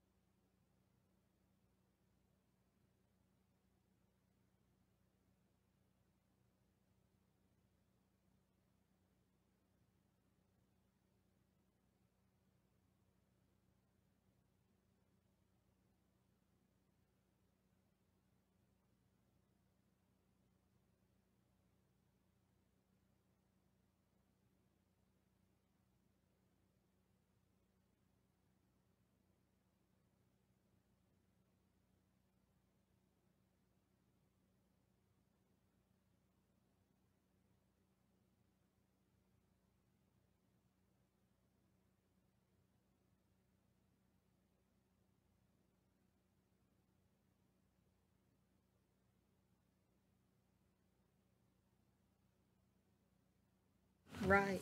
Oh, it just, How do you, how do you, you know, what's the concept? of- I know what I would do, but he's not doing it. Kathy and Mary are, phil- are deep in philosophical conversation. Well, thank you, guys. Yes, sir. I'll, I'll get it started at least. Um, so we're excited. You know, we're coming back to you af- after having been at the Historic Zoning Commission meeting. You recommended we come back to DRC. We've made some modifications to lots five, six, and eight, the ones that are closest uh, to the to the to the hall, to Magnolia Hall, and want to share with you our, the changes we're proposing. Get your feedback. Uh, we have had a lot of conversation, as you know, about the height and the criteria of that, uh, of the houses being below the height of the, the, what do you call that level? Bridge, the bridge. Level. Um, So um, we worked hard to, to get those at least a foot below. And uh, you'll see that in the information you've received. Um, I don't know if you want to do these, I guess we should do these individually, Jim? Yes. We'll start with five, obviously, then. Um, One of the big things that happened, and, and I want to be very transparent, we're not trying to pull the wool over anybody's eyes. Um, Hopefully, you guys know me, I'm, try to be a man of character. Um, When we originally measured the house, we counted bricks. And I think there was a calculation issue in our office that uh, we used a, a different size, modular size versus standard. Anyways, ultimately, uh, when we, we came back and realized that the height was such a big deal that we wanted to make sure we had it right.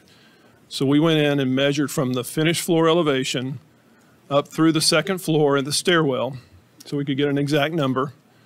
And then there's an attic access that goes up through the roof structure up to the, to that um, pad level. So we were originally 33 feet to finished grade at the Magnolia House. When we did that measurement, we came up to 34.9. So that's the number we're using now is this sort of red line, for lack of a better term, a glass ceiling uh, for all these houses to be evaluated under. So as we go through here, we've made sure that each one of those are below that line by at least a foot. Um, you also expressed some concern about the massing and the scale. So we have some information that we can share with you that hopefully will help you feel comfortable with the, the sheer mass, you know, that you can compare apples to apples on, and then also the scale as well. Um, we did a comparison of the, the proposed house next to Magnolia Hall, so you can see directly what that scale uh, comparison is. And we've also, uh, thirdly, heard that you said uh, you want it more simple. And so that was a big criteria for us as we're looking at these. I know on one house we had a turret that we've removed. Um, we had a lot of turrets at the beginning. so we're, we're changing this, uh, the name of the community from Magnolia Hall to No More Turrets. um, we've simplified, simplified details, um, tried to main, um, mainstream materials to make sure that we weren't over stimulating these houses with too many materials. So bottom line, um, we come to you with revisions that we want your feedback on. Uh, it's important to us as it is to you guys to create a beautiful community at the end of the day. We had a chance to meet with staff um, before we resubmitted, and and I don't want to speak for them. I got a I got a comfort level that we were at the point where they could recommend approval. So um, we've come a long way to get to that point, and I appreciate staff and, and their efforts to help us with that. So um, again, appreciate all your feedback. I think it's every time we've done these, uh, we've gotten better, and that usually is the case. And and and appreciate the feedback. It's it's challenged to design by committee, but you know, in individually, you guys have given us good feedback that we've been able to incorporate. So with that said, uh, glad to go through each one of these individually and just talk about some of the detail. I will say, uh, starting with lots five, just to reiterate, we are 162 feet from the face of Magnolia Hall. And if you look at Magnolia Hall on that uh, image above, sorry, go a little bit higher, Emily. Are you controlling it? Uh, So that image there, that's a comparison of the, um, the house we're proposing next directly next to um, Magnolia Hall. Now, obviously, they're not that close together. The length of Magnolia Hall, as you look at it on the right, it's about 120 feet. We're, uh, we're going to be 160 feet from Magnolia Hall, so it's a, it's a substantial gap between. Um, You've also seen the trees out there. They provide a lot of edge to the view as you drive into the community. So uh, that was intentional to, to create this beautiful procession to the, to the main Magnolia Hall. Um, When we measured the massing, to get back to that comment, um, if you take Magnolia Hall and just the main two-story house, you take the face of Magnolia Hall width and vertical height, including the inset, that's about 123, 123, 1,237 square feet of vertical mass. And that's not including what's on the sides, it's just that main box. So the house here that we're proposing is roughly 800 square feet of mass, including the insets, anything that's vertical, the insets of that facade. So it's about a 65% mass comparison to Magnolia Hall. Um, Our heights are still the same. We're still 10-foot ceilings down, nine-foot ceilings up, so we haven't raised the height. We've lowered some slopes of roofs in order to make sure we're under the, um, the height restriction. Um, And again, we've simpli- simplified materials and, and details and everything we could to try to keep it uh, where the, the main Magnolia home is the, still the, the jewel. So can I answer any questions, or I'd- again, I'd love your comments. Um, we really appreciate the applicant, you know, providing these alternate images and um, just working with us through um, this whole process. And every design, I feel like, continues to get better. They just look fabulous. Um, we do want to comment that the height, let's see, that the Mansion Ridge here says it's 706.4 and Lot 5 Ridge is 705.1 and the guidelines, you know, would recommend, you know, it to be less and additionally within the guidelines, let me pull it up. Because this was, the development plan was approved in December of 2021, it is in the old guidelines. So there is this one guideline that we want to call out that uh, make new buildings compatible with adjacent structures in floor to ceiling heights. Appropriate heights for new construction are from eight feet to 10 feet. And so the previous designs are within that guideline and they meet the guideline. I believe these um, uh, these houses uh, tonight are a little bit more. I believe that it is 10 foot 1 inch. If this will load. Here we go. I think it, yeah, I think it was. Oh, I lied. It's 11 feet 2 inches. Uh, So, Can I clarify really quick, Emily? So, so it's clear, uh, that's a floor-to-floor height? okay. That's not a ceiling height. Okay. That's why it's 11 foot 3. It's the, the structure of the floor between the first floor and second floor is 1 foot 4 inches, Okay. I believe is right. So it would meet the guidelines of being between 8 to 10 feet? Yes, Okay. ma'am. Yes. Yeah. That's a good. But thanks for clarifying that. Mhm. We'll, uh, we'll call that out specifically. Yeah. Um, additionally, I believe that on the plans, it notes that, uh, here it is, that um, aluminum clad wood windows are proposed. The guidelines would recommend uh, to utilize uh, wood windows or um, composite wood windows. Okay. And those are our comments. Okay.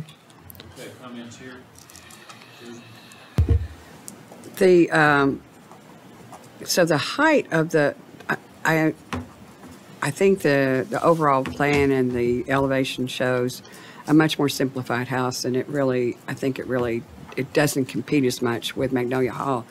I wish that it were not as tall though. I feel like it's really bumping up the height of Magnolia Hall, and I, I really would prefer to see it lower. That's my comment. And I appreciate that. And we have tried, we have done everything that's this side of making it an ugly house. And I don't mean that, that your comment would make it an ugly house, but you know, you can um, adjust roof slopes to where it doesn't feel appropriate, as you know, for certain styles. So we're trying to balance all that. And, you know, with uh, creating a beautiful community means, in this case, we're creating economically a higher price product that there's some expect, expectations for that buyer. So, but thank you for your comment.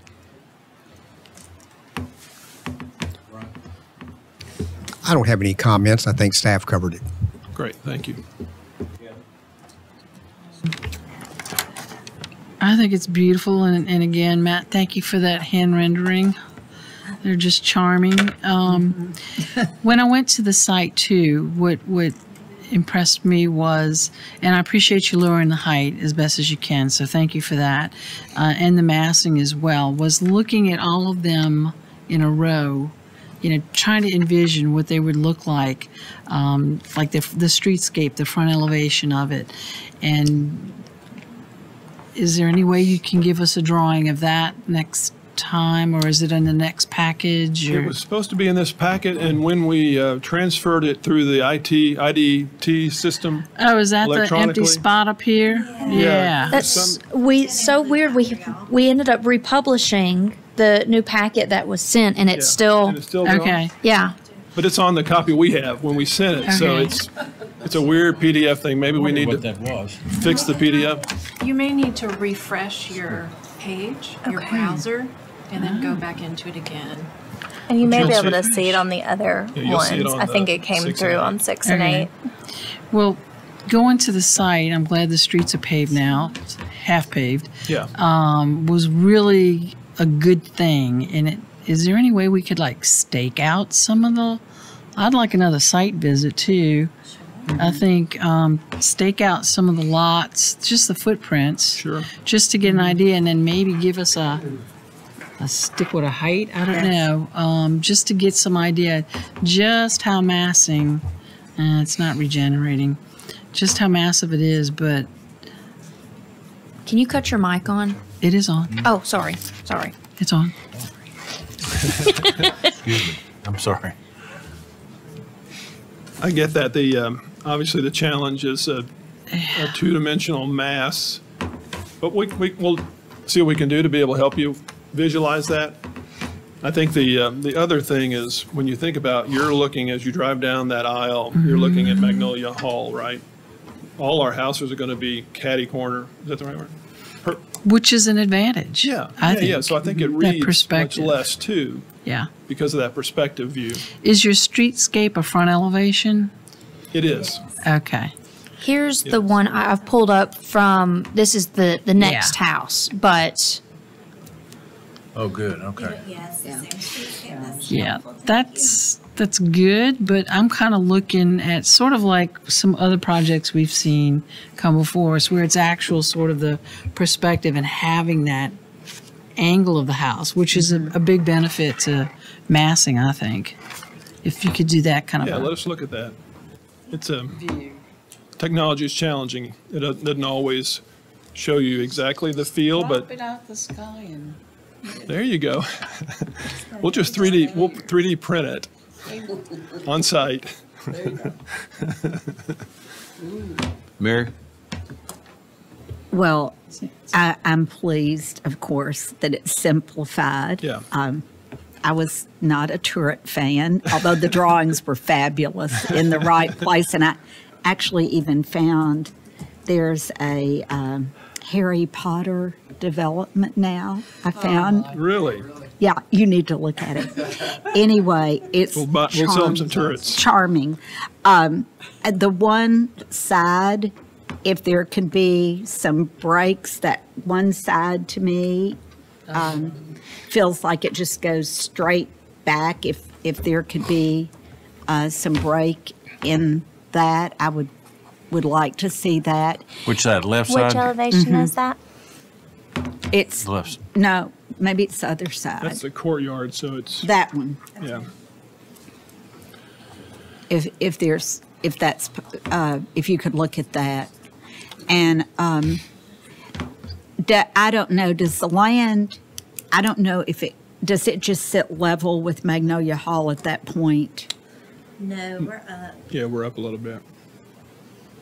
Uh, lot It's five. fairly level front to back, but it's. Two feet, isn't Yep, lot five is about two feet Two feet, above Magnolia Hall. So that's And- something else we try to note in the elevations. There's sort of yeah there's where it is with the grade, which is those red lines. Yes. But then there's also another height comparison on those dimensions to the side Mhm. that shows you kind of apples to apples height comparison. So it's significantly shorter, but it is also lower on the site. So we tried And to address both. I I actually I, I love um, the idea that Kathy had if we could have them marked out and I think Mike before you've done PVC pipe or something to show the height Yeah. this um, the good news Not balloons. not balloons. They blow. the good news is this is a big deal project, and the bad news is it's a big deal project. So everyone is just wanting to get it right so bad, and I know you all and your team are wanting to get it. Oh, we are. Right. It's a legacy So, project yes. for everybody involved. Thank you. We just want to get going. We're, I understand. you know, we, um, we, we do improve as we continue, but there's a point where you got to get past that. And there's there's a balance between deferring to what I call the Queen Magnolia Hall Yeah. and the new houses, and then the other side of that ditch is they're expensive homes and people want them to be unique. I get it, Right. and that's right. where we're trying to walk down that lane. But I know Bernie and the team have had a great response from this, and there's a lot of people that want to be there. Uh, I think, to y'all's point, or to your credit, all the open space has been a big draw for a lot of mm-hmm. these clients. So, kind of- Okay, I do like the simplification that you've made, number one. Good. Number two, it looks to me like the height, the overall height, if you've got a thirty-four nine mansion height, then the height of this house to grade is thirty-three five. That's, that's what I'm seeing. I think that's right. Is- Is that, I think that's right. It's am I uh, right on that? So you're, It's a one foot four inch You're one foot four between shorter. Magnolia Hall. That's right. One foot four. One foot four Four, inch. yeah, counting the- Magnolia Hall. yeah, right. And that's counted great. Kind of to grade, which is what, I mean, you've measured the grade for the mansion at thirty-four nine, and you, so thirty one five for the house From from the, the, uh, Right. plus two foot for the grade. That's right. And that Alright. shows up in that long streetscape. That's an actual grade Okay. streetscape. Okay. All right, anything else? Let's go to number six. Lot number six. So a lot of the same comments. Um, we are 123 feet, so roughly the width of Magnolia Hall. Um, the, the, the full frontage. Um, and then we're, we're one foot seven below Magnolia Hall in height. Uh, and then we're roughly 84% of the mass of Magnolia Hall. The vertical mass. That's right. So, excuse This house is wider in the front. This house is wider, and part of that is a perception based on the craftsman style. It's, it's always a more horizontal style. We did uh, eliminate, if you remember, previously we had two gables or two uh, extended porches. We eliminated the one on the right, just didn't feel comfortable with that um, amount of detail. It just It's got still simpler. I mean, that's, Yeah, that's this what we is did. good. That's the We- We theme tried to make it, yeah, that's the theme. Oh, no. Sorry. And this one is a little wider because the lot is wider. The lots do change size just a little bit as you go along that streetscape. So this is one of the wider lots. But you'll see in the, in the submittal, there's some 3D images that show depth-wise that, that width is, is uh, alleviated a little bit by the depth on that. That's actually absolutely right.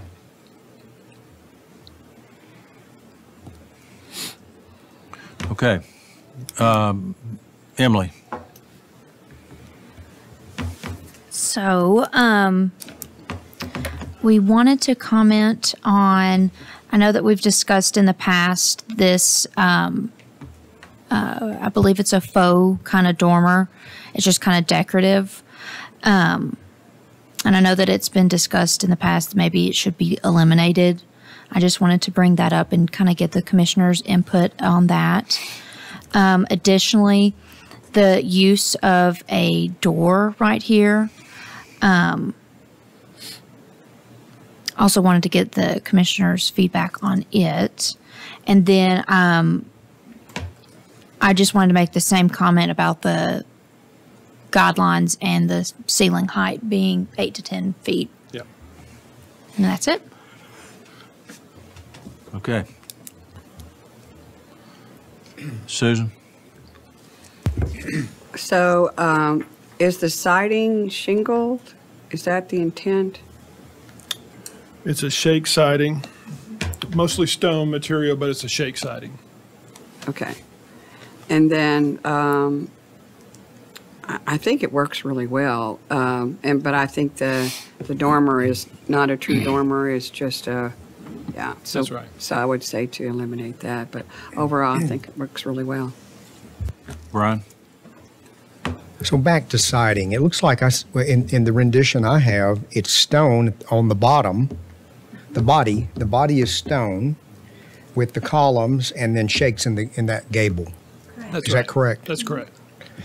Uh, the front entrance on, on that left side, I think there's some precedent in Franklin for, a- for doors. Uh, one is on Church Street, and they've got shorter windows on each side for side lights. So I, you know, I, I think that works. The, um, I think that the brackets, the brackets are a little out of proportion to the scale of the building. I think it reminds me more of a train station than a residential craftsman or bungalow. Yeah. Okay. It's a valid question. And um, If staff is saying the dormer is too small, you're suggesting removal? Um, it has just been mentioned in the past that if it's decorative, then it probably should be, you know, removed if it doesn't serve a purpose. And so I just wanted to bring that up um, while we're looking at this. Did y'all have any comments about the dormer? I- Didn't you? you did-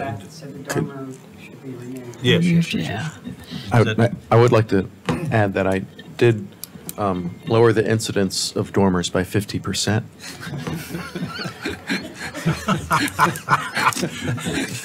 It's special. I it- do like the dormer, but if it's too small, then it looks odd. If it's too big, it looks odd. So Um, I could go. we tried it without it, and it just Looks looked empty. a little empty. Yeah. And it's one of those subjective things. Um, I'm envisioning that um, that'd be a little attic space, like with old toys or something like that, and the grandchild could go up there and have a little window.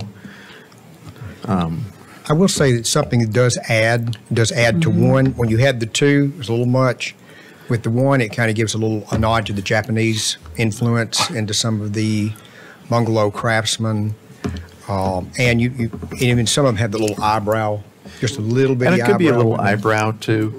I, and I'm not and, and I think that. it is important to have the quirkiness. No, we heard you. Old homes have, and that, that has been recorded. Yeah, I'm just saying. But uh, I, I, You've heard I that think it adds before something. tonight. Um, it, it does add add to it. I think. I believe in in in, in making each house special, and, and we're you know we're fighting a.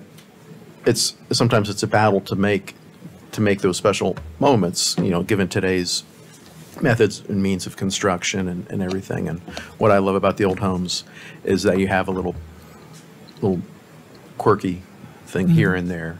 So I, I think there um, is a place for that. And so I try I look for opportunities for those moments.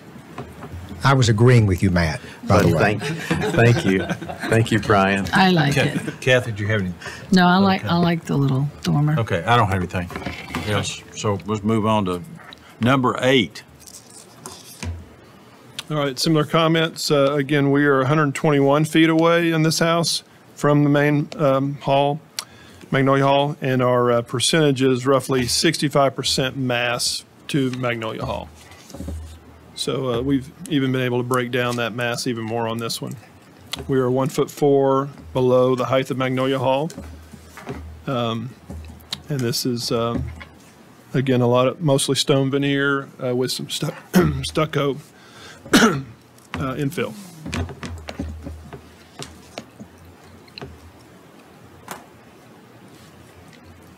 And we're, our ceilings are 10 feet and 9 feet.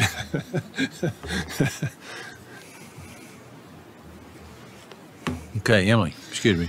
You read my mind about just Just help us. mentioning that. um, there was one other comment. Um, it was on the rear elevation.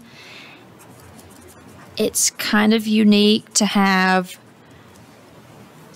kind of a shed dormer and a gable. And so we kind of wanted to get the uh, commission's input on this as it is unique and it's not uh, commonly seen. And tho- those are our comments.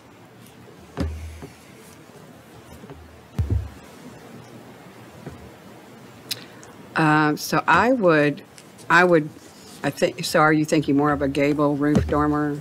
Is that what you think would be more appropriate, Emily? Just pick one. Oh, just pick one? I would say maybe. roof. And then the other thing that I'm struggling with is that the windows in the, in the left bay, the triple windows are very tall, and it just seems like it's not corresponding to the, the front entry. So um, I'm not sure quite how to handle that, but it just seems like the scale is just off there. But um, I I have to commend you on the drawing, the, you know, this, the uh, three-dimensional drawing, they're beautiful. Thank you.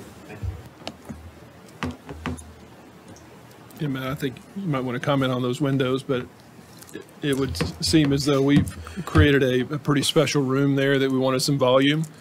And, um, you know how, I mean, architecture is all about compression and, and explosion to create really unique places. So I think the compression at the front door allows us the opportunity to, to have some explosion in that room with those taller windows. And plus, if you take those out, it's sort of that uh, big forehead in between that's hard to, you know, to figure out how best to do that and not look awkward.